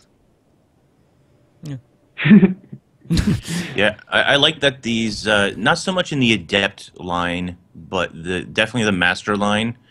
There isn't one of these that I don't want to take, and I think that's uh, and that's a. I wish the adept line was kind of like that. You know, the adept line maybe needs a little bit of work, but the master line, all of these, there's definitely situations or there's builds that you can think of or combinations you can think of where it's like, I, I would love to have Chilling Force or I'd love, I could definitely use Soul Eater in this way. Or Decimate Defenses, which we haven't talked about just yet, you know, definitely has a place. So I think it's, I I think it's nice that uh, all of these options seem like they're viable. Yep. Yeah. Uh, the the masters are highly competitive with each other. I think all of them have uh, certainly have a place. Uh, especially, oh well, I mean this one, the the next one and final one, hardly needs an introduction. Decimate defenses. Striking a foe with vulnerability increases critical hit chance per stack. So if they've got 25 vulnerability stacks, suddenly you've got 50% extra critical chance. Uh, I mean, uh, to me, this just seems like you're going to have builds that revolve around this, and you can just completely throw away precision. Uh, you, there's no real need to have this, especially with the um, what is it called? Uh, fo- well, yeah, death perception. Death perception. Death that's right perception. Yeah. uh, increases. Yeah, so you've got an, another 50% critical chance while in Death Shroud. So if they've got 25%, uh, 25 vulnerability stacks, and you're in Death Shroud, suddenly you've got 100% crit. And that's you know with no precision. You have no need for precision in this build. I think this is a this is a very strong, a very strong trait in in an awful lot of different situations. I think what's even what more interesting. I think what's even more interesting about this trait is, you know, right now we're talking about just the Necro by himself, how much vulnerability he can stack, which is a good amount. Um, and it seems like most classes are going that direction. It seems like most classes are now have this ability, at least so far, to stack a lot of vulnerability. But if you think about this in a party-wide buff in, in a five-player team or something, Dragon hunters can now instantly stack 25 stacks of vulnerability, even if it is short duration. Uh, engineers have always been good at stacking vulnerability. Uh, there's just so many classes now that, you know, I'm missing a lot of classes, obviously, but there's so so many classes now that still stack vulnerability extremely quickly on top of the the uh, the necromancer that it it's almost going to be it's going to be a rare situation where you don't have 25 stacks of vulnerability on something. that's the thing maybe the reason we now have such we have increased capacity for stacking vulnerability maybe it's required because you will be also required to break combat a lot. Maybe it's that challenging that you have to break combat a lot and by the time you get back they don't want to make players okay now we have to rebuff now we have to re-debuff. You break combat and you get back and it's still there and you can continue. It's all about having fun not constantly segmenting the combat. Like okay we go behind this corner we, we rebuff we burst. Okay we move we go to this corner we rebuff we burst it's so frustrating Yeah. All right. In that case, shall we talk about some grandmaster traits? Let's do it. Let's let's do it. I think we're, we're ready for it now. Light as boon. The one Gain that light Wooden points. Potatoes didn't understand. The lore Gain reference, life right? points. When you gain a boon, if you are in Reaper's Shroud, gain health instead. And obviously, I think the, the obvious synergy here is with uh, Chilling Force. Uh, you can I mean, imagine if you were hitting five chilled targets at once with this while you're in Death Shroud. I mean, the, Well, the, that- the amount of health you can get out of this would be pretty insane. And you get might from the uh, from the Death Shroud auto attack, anyways. Mm. So yeah, it's like it's like altruistic healing and empowering might that doesn't suck. That's like basically what it is. but uh, that's it's, it's it's really funny. Like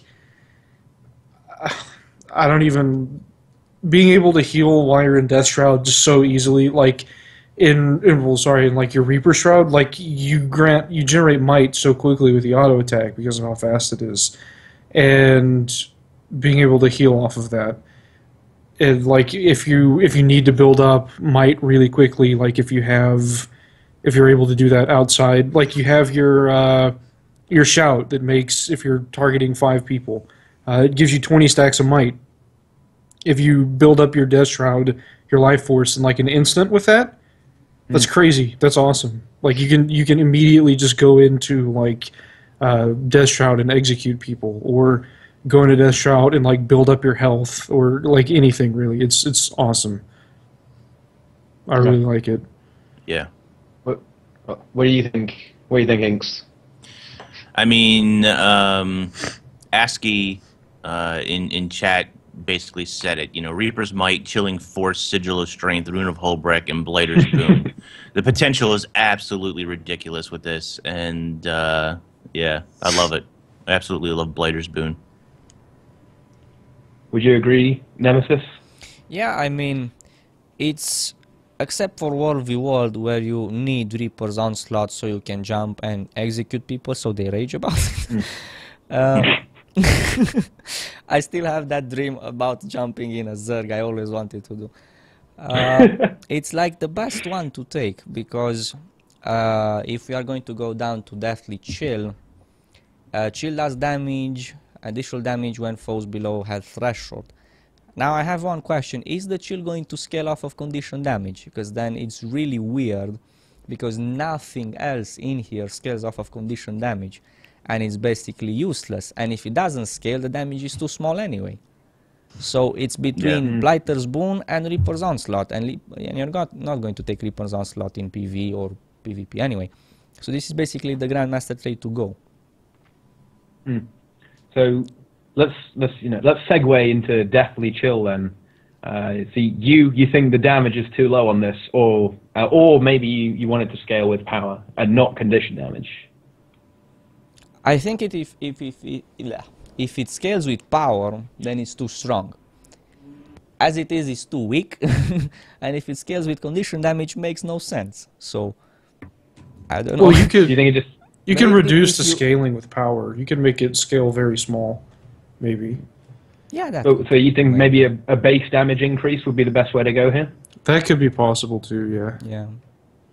Or maybe if you can add those little fuckers that explode. Deathly jagged horror. Yeah. Chill summons a deathly. Uh, chill summons a jagged horror to attack your enemy. that would be really good. That'd be a lot of jagged horrors. Yeah. uh, Co- Inks, enlighten us. What do you think about Deathly Chill? Yeah, I don't know. It's not, you know, out of the three that we have here, uh, Blighter's Boon being my favorite. I don't know. I'm not, I'm not exactly. I can't. I don't know whether it's the damage or the fact that it feels a bit odd to me, but something is off with this trait. Uh, it's either not strong enough or it's just not enticing when you when you you know match it up with the others uh, you know, for for funsies, I guess I, I think it has. I think some people might take it to play around with it. Uh, you know, maybe maybe I'm just missing something here, but I don't see the point uh, when you compare it to the other two. Just me, Speaking maybe. of the other two, what about Reaper's Onslaught? Attack faster while in Reaper's Shroud. Killing a foe recharges Death's charge, and the attack speed increase is 15%. So, given that the auto attack is already pretty fast, you're just spinning this thing around constantly with, with this trait. Uh, it's just this is the Dervish simulator. Like, once again, this Guild Wars 2 is now the premier Guild Wars 1 simulator. You can relive your Dervish experience with the Reaper. I mean, in some respects, this is just 15% more damage while uh, you're in Reaper's Shroud, and that's good. Yeah. I being able. I Oh, like. go ahead. Well, no, I I have a feeling I'll probably end up using this trait in PVE, uh, just for the attack speed to build up might faster. Especially like if I if I wander into a pug group or something, or maybe if I'm trying to solo some stuff, having being able to build up might a lot quicker and being like that much more self sufficient, I really really enjoy that. Like I've always kind of enjoyed that aspect of Death Shroud builds, just being able to generate your own might. Granted, it is a little slow currently with how slow Life Blast is, but being able to do that like already faster from Reaper Shroud and then again another 15% faster, I think that's really cool. Um, I like this trait a lot too. I don't know that I would really use Blighter's Boon too much in PvE. I might prefer this one, but I don't know. We'll have to see. Well, I mean, obviously, I know, I know you uh, intend to use this trait a lot, Nemesis. Uh, but do you have any more more thoughts on it? Uh, Go ahead. no, nothing that hasn't been said so far. Okay, Inks. Yeah, I agree. You know, same with Brazil. Uh, Reaper's Onslaught PVE. I think uh, this is my choice there. Uh, you know, some people just just to address it. Some people were saying that I'm I'm totally out of my mind with Deathly Chill uh, because uh, it matches up really well with condition builds. That may very well be. I don't play Condition Mancer, so I apologize. I don't have a whole lot of experience playing Condition Mancer because I play Power Necro. Even you know, in in World vs World, I play Power Wells. In PvP, I play a Power Necro, and in PvE, you know, Power again. So I just feel like, and I could be wrong on this because I, I lack experience. You guys can correct me, but it feels like Necros, at least currently, and this could be changing, but it feels like Condition Necros don't stack conditions fast enough, or at least in relation to other condition classes that are stacking conditions. In The thing is with condition, because I used to play condition a lot, and I play hybrid a lot, especially in fractals. Um, you don't have the setup to actually benefit from condition stacking, because you don't stack fast enough. Because it, I mean, it's a flawed system at the moment because of the condition bleeding cap. You are not supposed to stack 25 on your own because there's so many skills that stack by accident and epidemic uh, I can be FKing and only hit ep- epidemic. And if the the monster has all the conditions in the game I benefit from it benefits from my condition duration my condition damage. So hitting one epidemic could literally spread a lot of mobs like instantly kill them.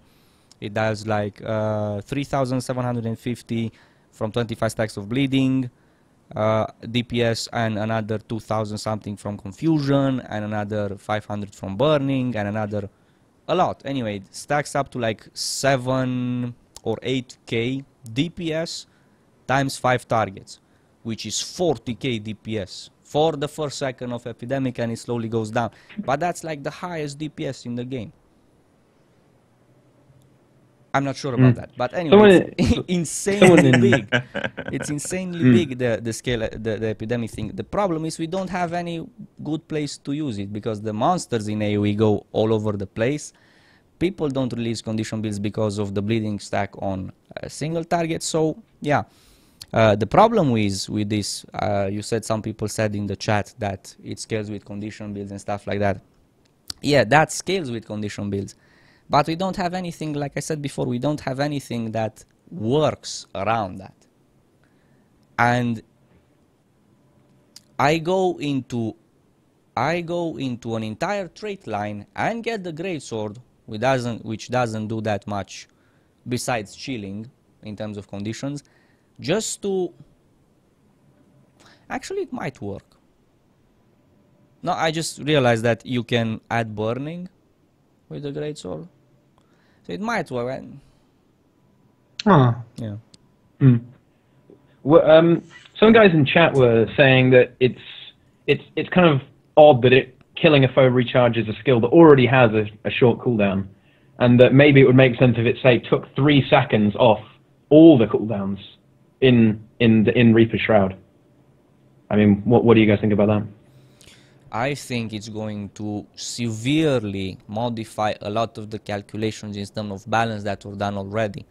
If there's if they're going to take three seconds of all of the skills, then you have to remake all the damage values. So even if it's a good idea, I'm not sure anyone is going to make the calculations for it uh, at the moment. Hmm. Inks, uh, how do you what do you think about Reaper's onslaught? Yeah, you know, I've, I've already said I think it has its place in PVE, and uh, I think this is the trait that you'll probably. I mean, we don't know for sure, but at least right now, if this was to go live tomorrow, this is the trait that I would take in PVE. I think. Mm. Yeah, I agree with that. I, I would say that would be probably the best. Uh, oh, uh, uh, is is there disagreement from From, from Nemesis and Brazil?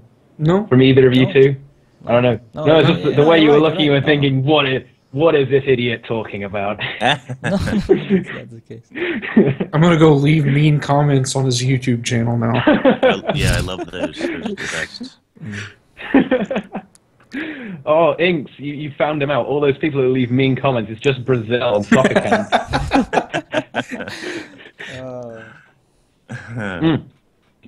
All right, guys, that actually uh, rounds off all all of the new stuff. Uh, but Do we, we have, yeah, should we take have some time for questions, maybe? Yeah. Seeing as we've got some very wise, very wise men here today, uh, if you have any questions, go ahead and ask them in chat, and I will direct them at people who know more than me. And Nemesis may have had some questions from. Uh, I don't know if you already got some questions from your YouTube channel or not, but or we can just wait and chat. Uh, Yeah. I I'm guessing I'm going to answer those questions in the comment section Okay. Okay. because I, I was thinking like not everyone is going to be at the right time at this to understand them. Hmm. Yeah. There's going to be questions on and as I upload this anyway, so I'm just going to take the live ones now. Why is Brazil in your video? That'll be the main question. Yeah, that was weird. well, to be honest, if I'm going to take a small, uh, take a, I don't know the word, to talk about like 30 seconds about this. When you wrote, when you uh, sent me the message and said uh, maybe you don't like me and stuff like that, I was like, well, a lot of people have told me that you don't like me, so I don't, I don't know all of this stuff but you're really polite. So I'm like, okay, we can have a ch- conversation. And a lot of people seem to think like we hate each other.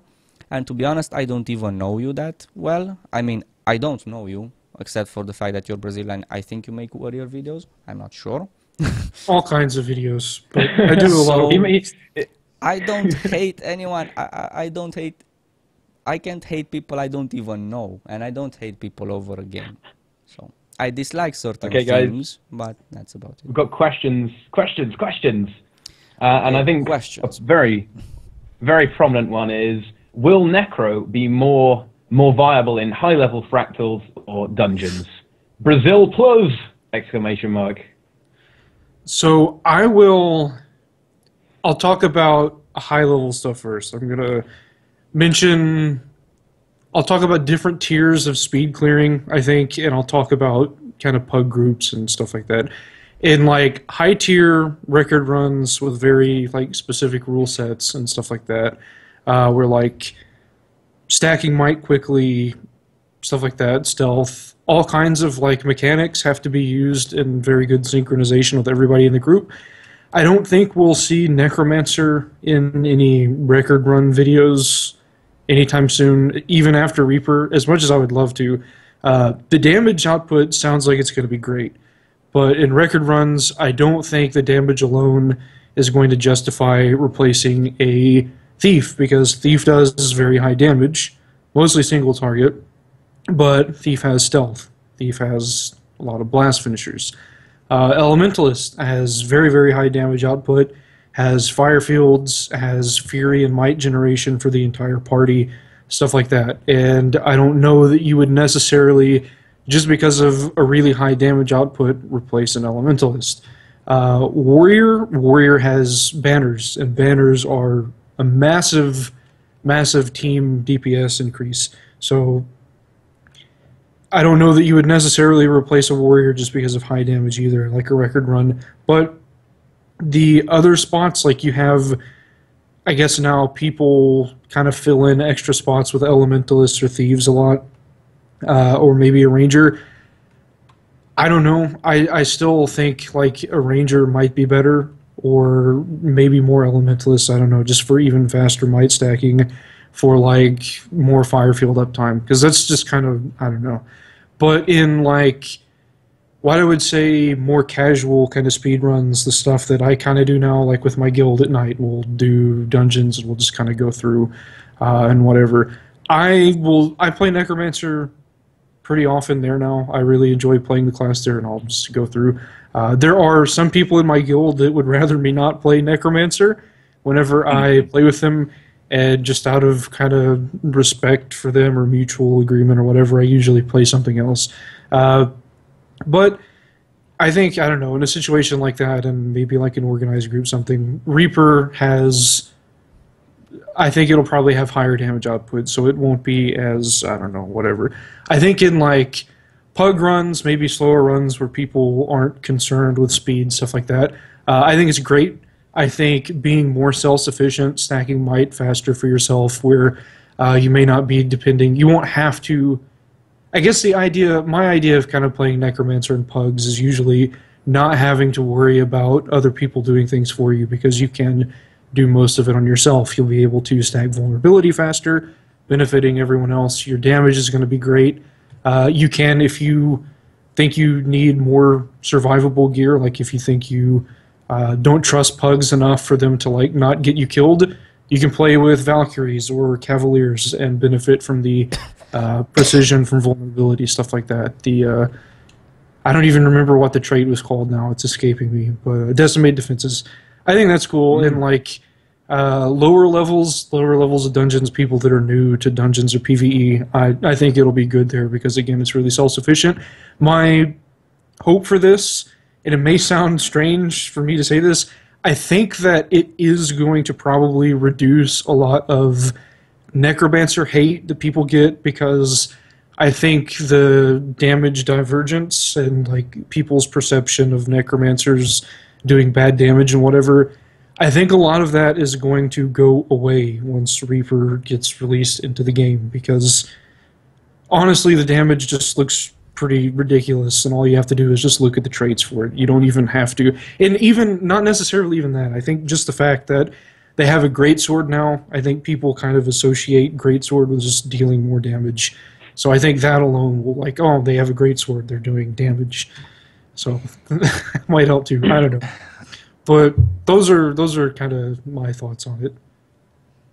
Yeah. Would you, you would you agree with that, Nemesis? Well, the way fractals are right now, uh, probably. He's probably right because even in fractals, stacking works. And when you have stacking, you have uh, buffs that scale up way out of proportions, and Necromancer doesn't bring enough buffs. It's uh, it's not that you are slowing down the team. It's going to be like a minute, two minutes tops. And uh, to be honest, if you're not making like the perfect run with pugs, you're actually carrying the team. It's a lot of the time I was like the only one left alive. But in record times when everyone is playing perfects, buffs scale way out of proportions and you don't bring buffs. If scaling gets removed, then it's totally different because we have to take in consideration DPS uptime. And that's something we really have to take in, into consideration. With stacking, with corner stacking, we pretty much have 100% DPS uptime. DPS uptime is non-existent. It's not even a factor. And it's been going on for such a long time that people don't even understand the notion of DPS uptime or attack speed for that matter. people just see a number like, ah, I do this DPS. No, my friend, that's a number of a skill that has two second channeling duration and an aftercast. You don't do that DPS. So, yeah. Um, Inks, you, I know you don't main a Necro, but would you do you think uh, it's a possibility to see a few Necros in some maybe a little bit higher level and, and not getting immediately kicked from fractal? Well, you know, here's the thing. Number one, I'm I'm not the I'm not the numbers guy. I know Brazil. Uh, I know DNT like DeKeys uh, is really good with the numbers. I know she crunches like a lot of that stuff, right? So, you know, just at a glance, uh, if you don't need reflects, and currently, I, I correct me if I'm wrong, but I think the the current you know meta is replace Guardian with Ranger. In that situation, if you don't need reflects, uh, you know perhaps Necro's damage could you know equal that of Rangers, maybe even better. I don't I don't really know. It really depends on the changes. So so maybe there's a slight spot there, but and this is going to be an unpopular opinion. A lot of people are not going to like this. The problem with current pugs in general, or current dungeons in general, is there are a lot of people who think that they are these top speed clearing groups. And the truth of the matter is, they're not. You can put on all the berserker armor you want, but if you're not playing that you know set of armor properly if you're not blinding if you're not dodging at the right time if you're not avoiding those hits then you're dead or on the ground doing no damage at all and you're totally useless this is especially true for pugs so it's odd to me that you know if you look at the best speed clearing guilds that are out there and the best compositions that are out there necromancer is not the only class that gets excluded from those runs it's just unfortunate that because they don't have blast finishers, that because they don't have these uh, like banners or other things that share party support, they get this. They have this connotation attached to them that they just aren't providing enough help for the group, which is not, you know, it, it's not exactly that's not exactly true in everyday runs, and I'm not talking about just casual runs, even runs where you make good progress or good timing through a dungeon, there's nothing wrong with taking a Necromancer. And uh, Reaper, for the most part, is going to, because of the damage that they're going to be able to do, especially with the number two greatsword skill. Um, I mean, I, I, see no reason why they shouldn't have a place in, in regular, normal runs. Especially yeah. if you wait 15 minutes to get your party going. yeah, that that's you mentioned that in your latest video. That's actually yeah. something that I think is funny because and it ha- it's happening and it's really detrimental for new players because new yeah. players don't know anything. They just go in, try to play, and they just get cursed at because they're not meta. And if they are left in the run, they have to follow this weird steps and stay in weird locations with the camera going all like this. And the first impression, if I would go into this game with that first impression, I'd be like, what the fuck is this? So, yeah, mm. anyway, another time. I think, I think there is a, a, wider problem with certain members of the community right now. There's, you know, there's a depressing amount of elitism. You know, oh, well, you know, and, and like you said in your in your latest video, you know, uh, you, the, the, in the time they've been waiting for their perfect, awesome super group, you could have already done it. Uh, with with uh, you know, it doesn't make that much difference unless you are going for the, the, the ultimate speed runs, using all the filthy exploits and stuff like that. So, yeah. How? Okay. Next question from Galk the Bloody. Uh, what rune sets do you think being good? I mean, for for me, I mean, it just seems like Rune of Ice is a is a pretty obvious choice. In uh, PVE, I'm still going to use strength runes. I want yeah, might duration. Mm, in P, in PVE, I mean, it's not really going to change that much because you, you, you, need the runes with the aggr- all the aggressive stats on, and as you, know, you want to get as many damage multipliers as you can, as long as as many damage multipliers as you can get your hands on, and Rune of Ice doesn't do that. But I think in in PvP, I think Rune of Ice is is going to yeah. see some use. M- maybe Rune of Grenth as well, but maybe not so much. What do you think, Nemesis? Um, I'm under the impression that runes will change. Oh. So anything we okay. say now will be like, nah. that's that's so, true. Because yeah, if they, gear they changes, did, they, the runes have to change as well. Right. They did say at some point that some, not, I mean, maybe not all of them, but some of the runes would change, and we would see new runes and sigils as well uh, that we haven't seen before.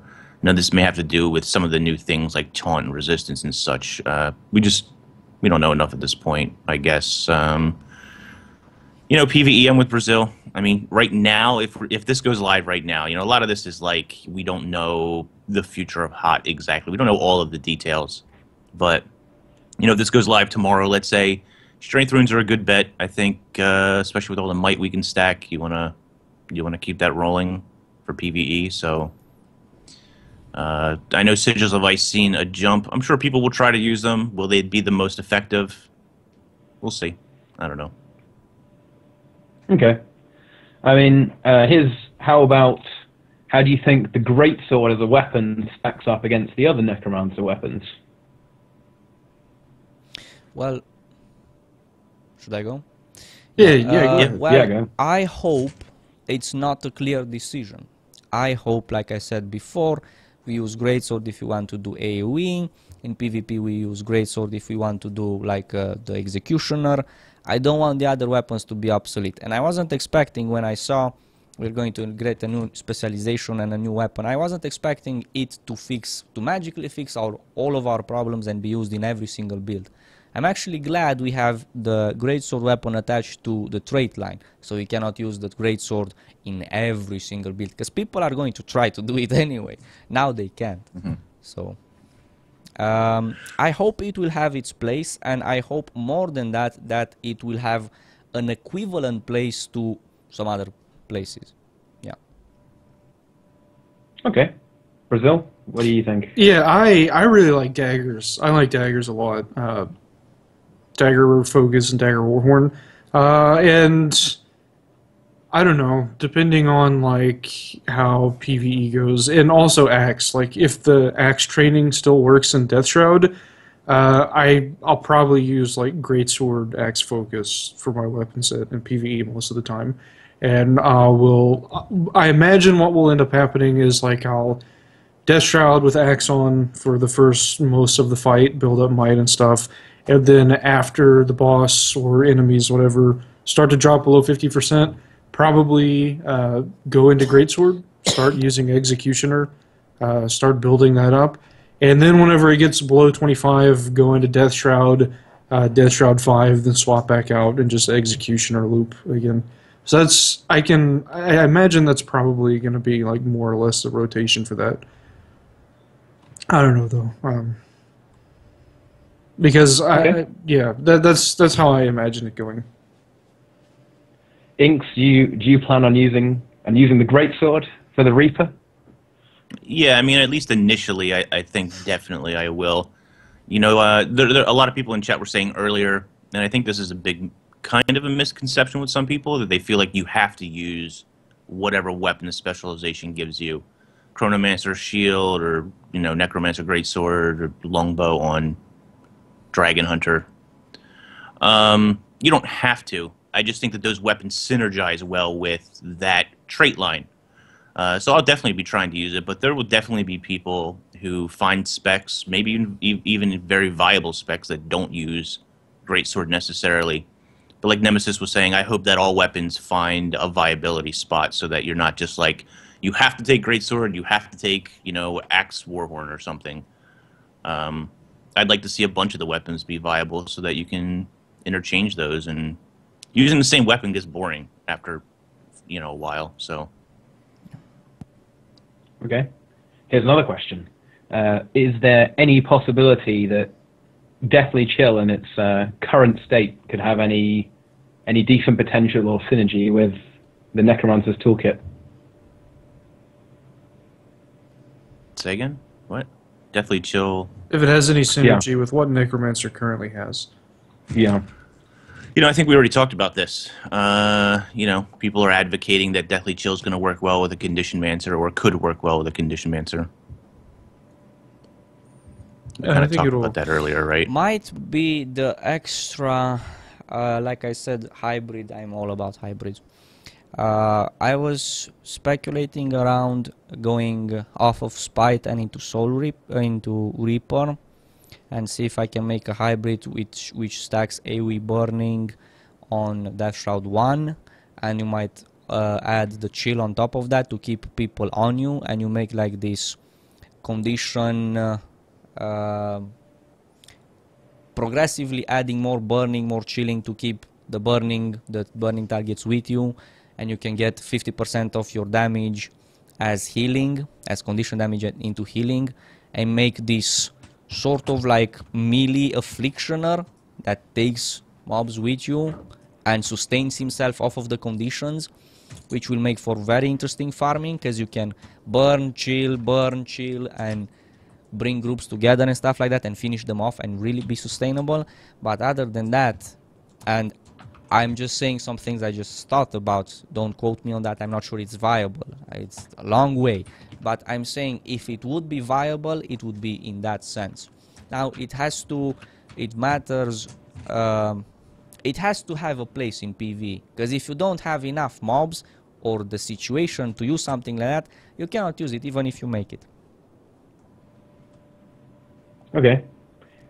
Uh, any thoughts on that, Inks? Oh, no, sorry, Brazil. Inks has Brazil. already said something. Uh, I I like. I've always kind of liked the idea of like condition damage builds and fractals, but there I think fractal 38 is the one that like converts conditions into boons and stuff. And there are kind of places where it doesn't work, but um, a long time ago, like when we used to do dredge fractal at like fractal level 80, it would take so long to kill all of the mobs with power. And we started playing around with like engineers in there with like because engineers do a lot of condition damage just kind of naturally. And if you kind of use rampagers armor or whatever it was it noticeably helped just having one party member switch to like a more condition damage base build. It was it was it was cool.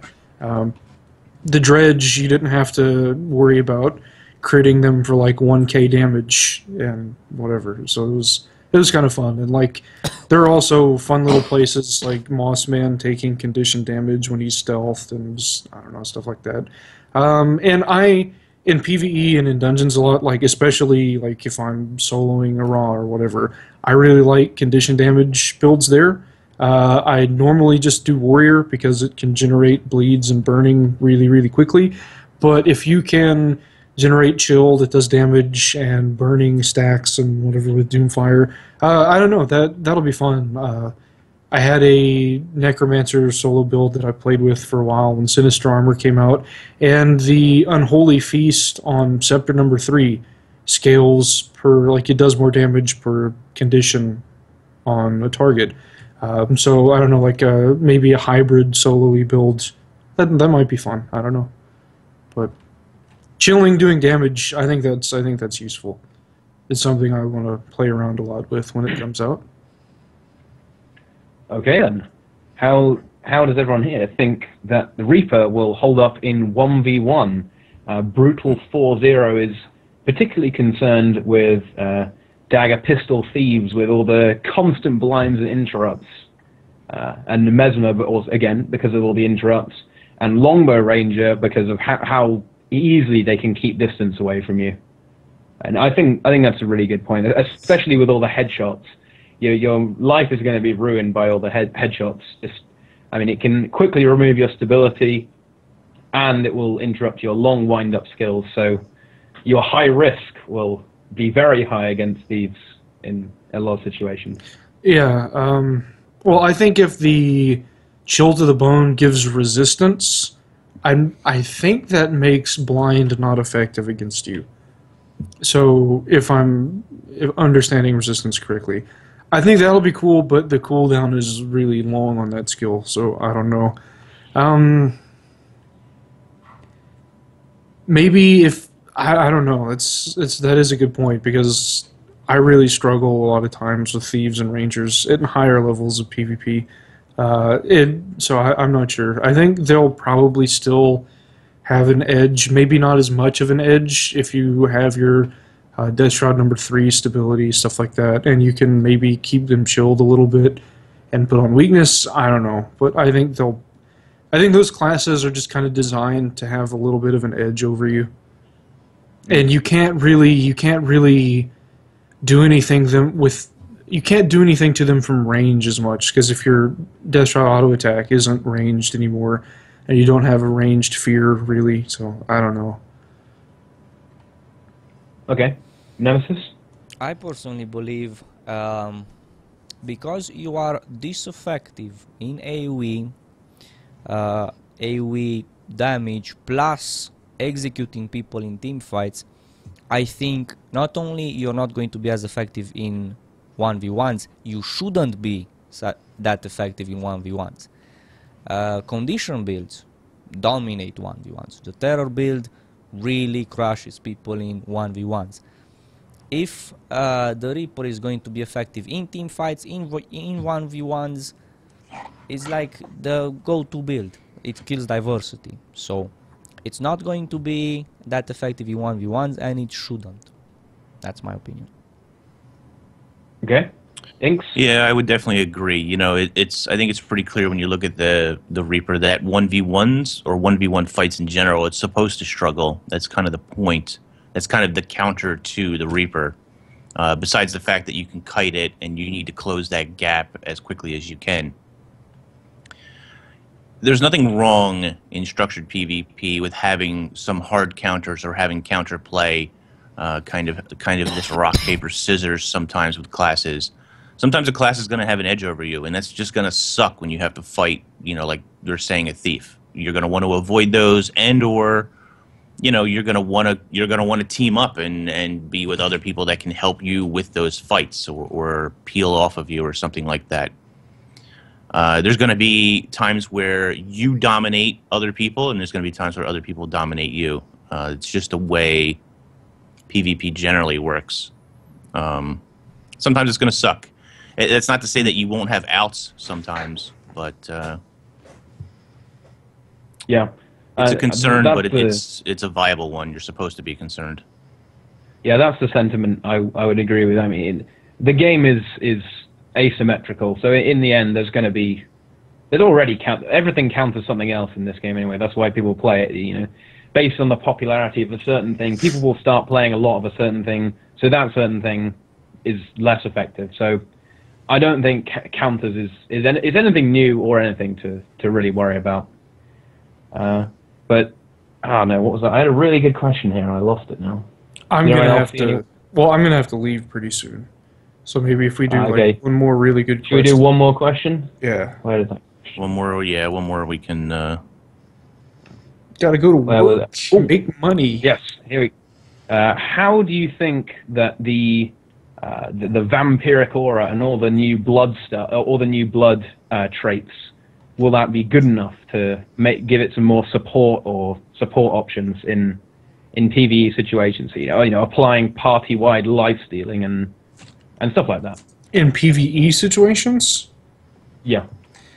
if the lifesteal can be abusable, yes. Otherwise, I don't know. Like, it's gonna depend. Like, if it scales, if it's just like a flat rate, and how often. I guess I can proc. I'm not sure because like a long time ago, before the like Omnom Berry ghosts had like an internal cooldown, that food was incredibly abusable. Like yeah Warrior would take offhand axe because that was a second heal skill, basically. Uh, not because it did good damage, just because it procced so many times, and you would get a proc on every single one of those hits. So, if you're able to find a way that like uh, you can hit quickly enough, and Necromancer can give each of those hits a lifesteal proc, I don't know. It might be might be pretty good. Like Ranger Sword hits really quickly. Uh, Thief hits really quickly. If Hundred Blades gets procs on every single hit instead of just one of them, then I don't know.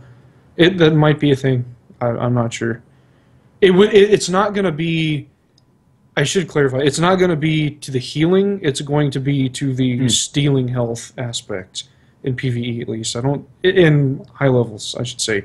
In lower level groups, uh, if you are concerned with like keeping your party alive, or if you enjoy running through and taking a supporty role and healing people, then I think that might be an option for you. But in like really high level play where damage is really all you're concerned about, the damage from the lifesteal will probably have to be abusable. I think that's kind of how that's going to work. out. From from my perspective, that that says it orally. It it all depends on how much damage Yeah, the the uh, the life stealing do, and if it if it depends if it procs, it depends how much it procs. If it's just one hit, that's not really not really going to cut it unless it's a, a really big a bit of extra damage. But I really do hope they do something good with blood because if suddenly necromancers have this kind of supportive side, I think that's going to really help their their perception from the community. You know, if they can do something to help their friends, even if it's not as good as say the other the other professions, just being able to provide something to the whole team will make people like them a lot more. But yeah, uh, Nemesis, what do you? Well, do you I feel about think uh, a lot of people, uh, in general, they expect the necromancer to be buffed to compete with the other classes in the same way. And Yeah. that, I always say that's wrong. I'm just expecting the PV.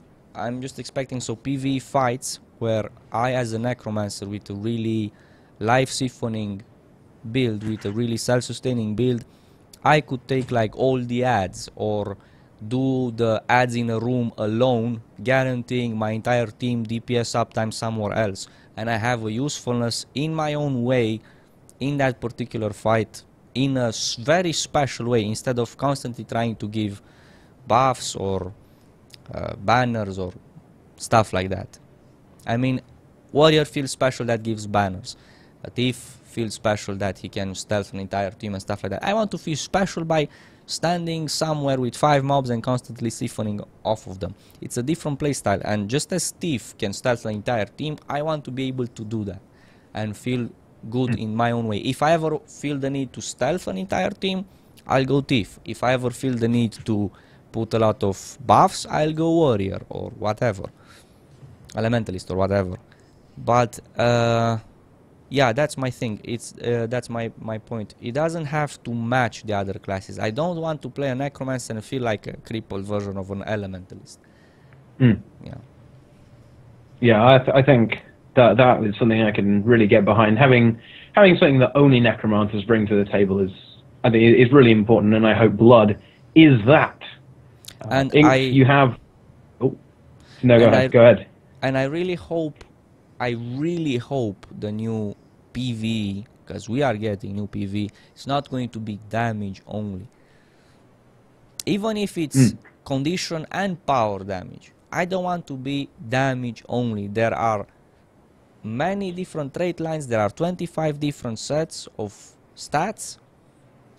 I want each and every one of those to have some functionality because it scales the diversity exponentially and that gives longer end game and more fun a lot more fun Okay, Inks, you have the final word on the final question. Uh, the final word on the final question. Yeah, you know, I mean, honestly, we don't know enough. We, we we have a snippet of information about blood with what Robert said he is working on. Uh, we need to know more. Uh, my my other hope is that necromancers in general, not just the bloodline, but um, I would like to see tiny tweaks to all of the lines. Uh, so I hope that I hope that when he's looking at blood and redesigning the bloodline, that they make small changes everywhere because I felt I feel like uh, you guys can correct me because you play necromancers more than me, but I feel like the necromancer community in general was not overly happy with the changes they've seen in the four-hour live stream. Uh, a lot of classes got a lot of big sweeping changes. Engineers, they're- got so many changes they're not even done with them yet. And necromancers, it just felt like they didn't make a ton of changes. So I hope that uh, you know. I know that Robert is still working on the Necromancer, and, and he's going back to Blood and the core trait lines there. And I hope that they take a look at all of the core trait lines and make little little tweaks and changes here and there. All right. soul reaping curses and power looks look pretty good look pretty good uh, soul uh, death magic is not quite there yet and uh, blood magic is only like if i don't know it's not it's tricky if if they buff it too much combined with uh, soul reaping and reaper it could scale some tank builds way out of proportion but as it is now it's sort of useless so they have to buff it just right yeah I'm Okay. excited to see what they do. I think we can all agree on that, something to end on and all agree on. Uh, okay, before we finish the stream, I want all of you guys to tell us where we can find you and how to follow you and subscribe and all that stuff. Let's go from the top first. Inks, tell us about yourself. Uh, so I have a YouTube channel, Twitter, and Twitch. It's MMO Inks on all of those. So uh, yeah, I cover, you know, I, co- I cover mostly uh, news and sort of guides for the general Guild Wars 2 game uh, on my YouTube channel. Okay. Nemesis. Um, I'm mostly on YouTube for now. Uh, the channel is I am one and I am Legion, and I mostly make guides for the Necromancer. I also sometimes do s- like uh, balance checks and other things that are related to the in-depth core mechanics of the game.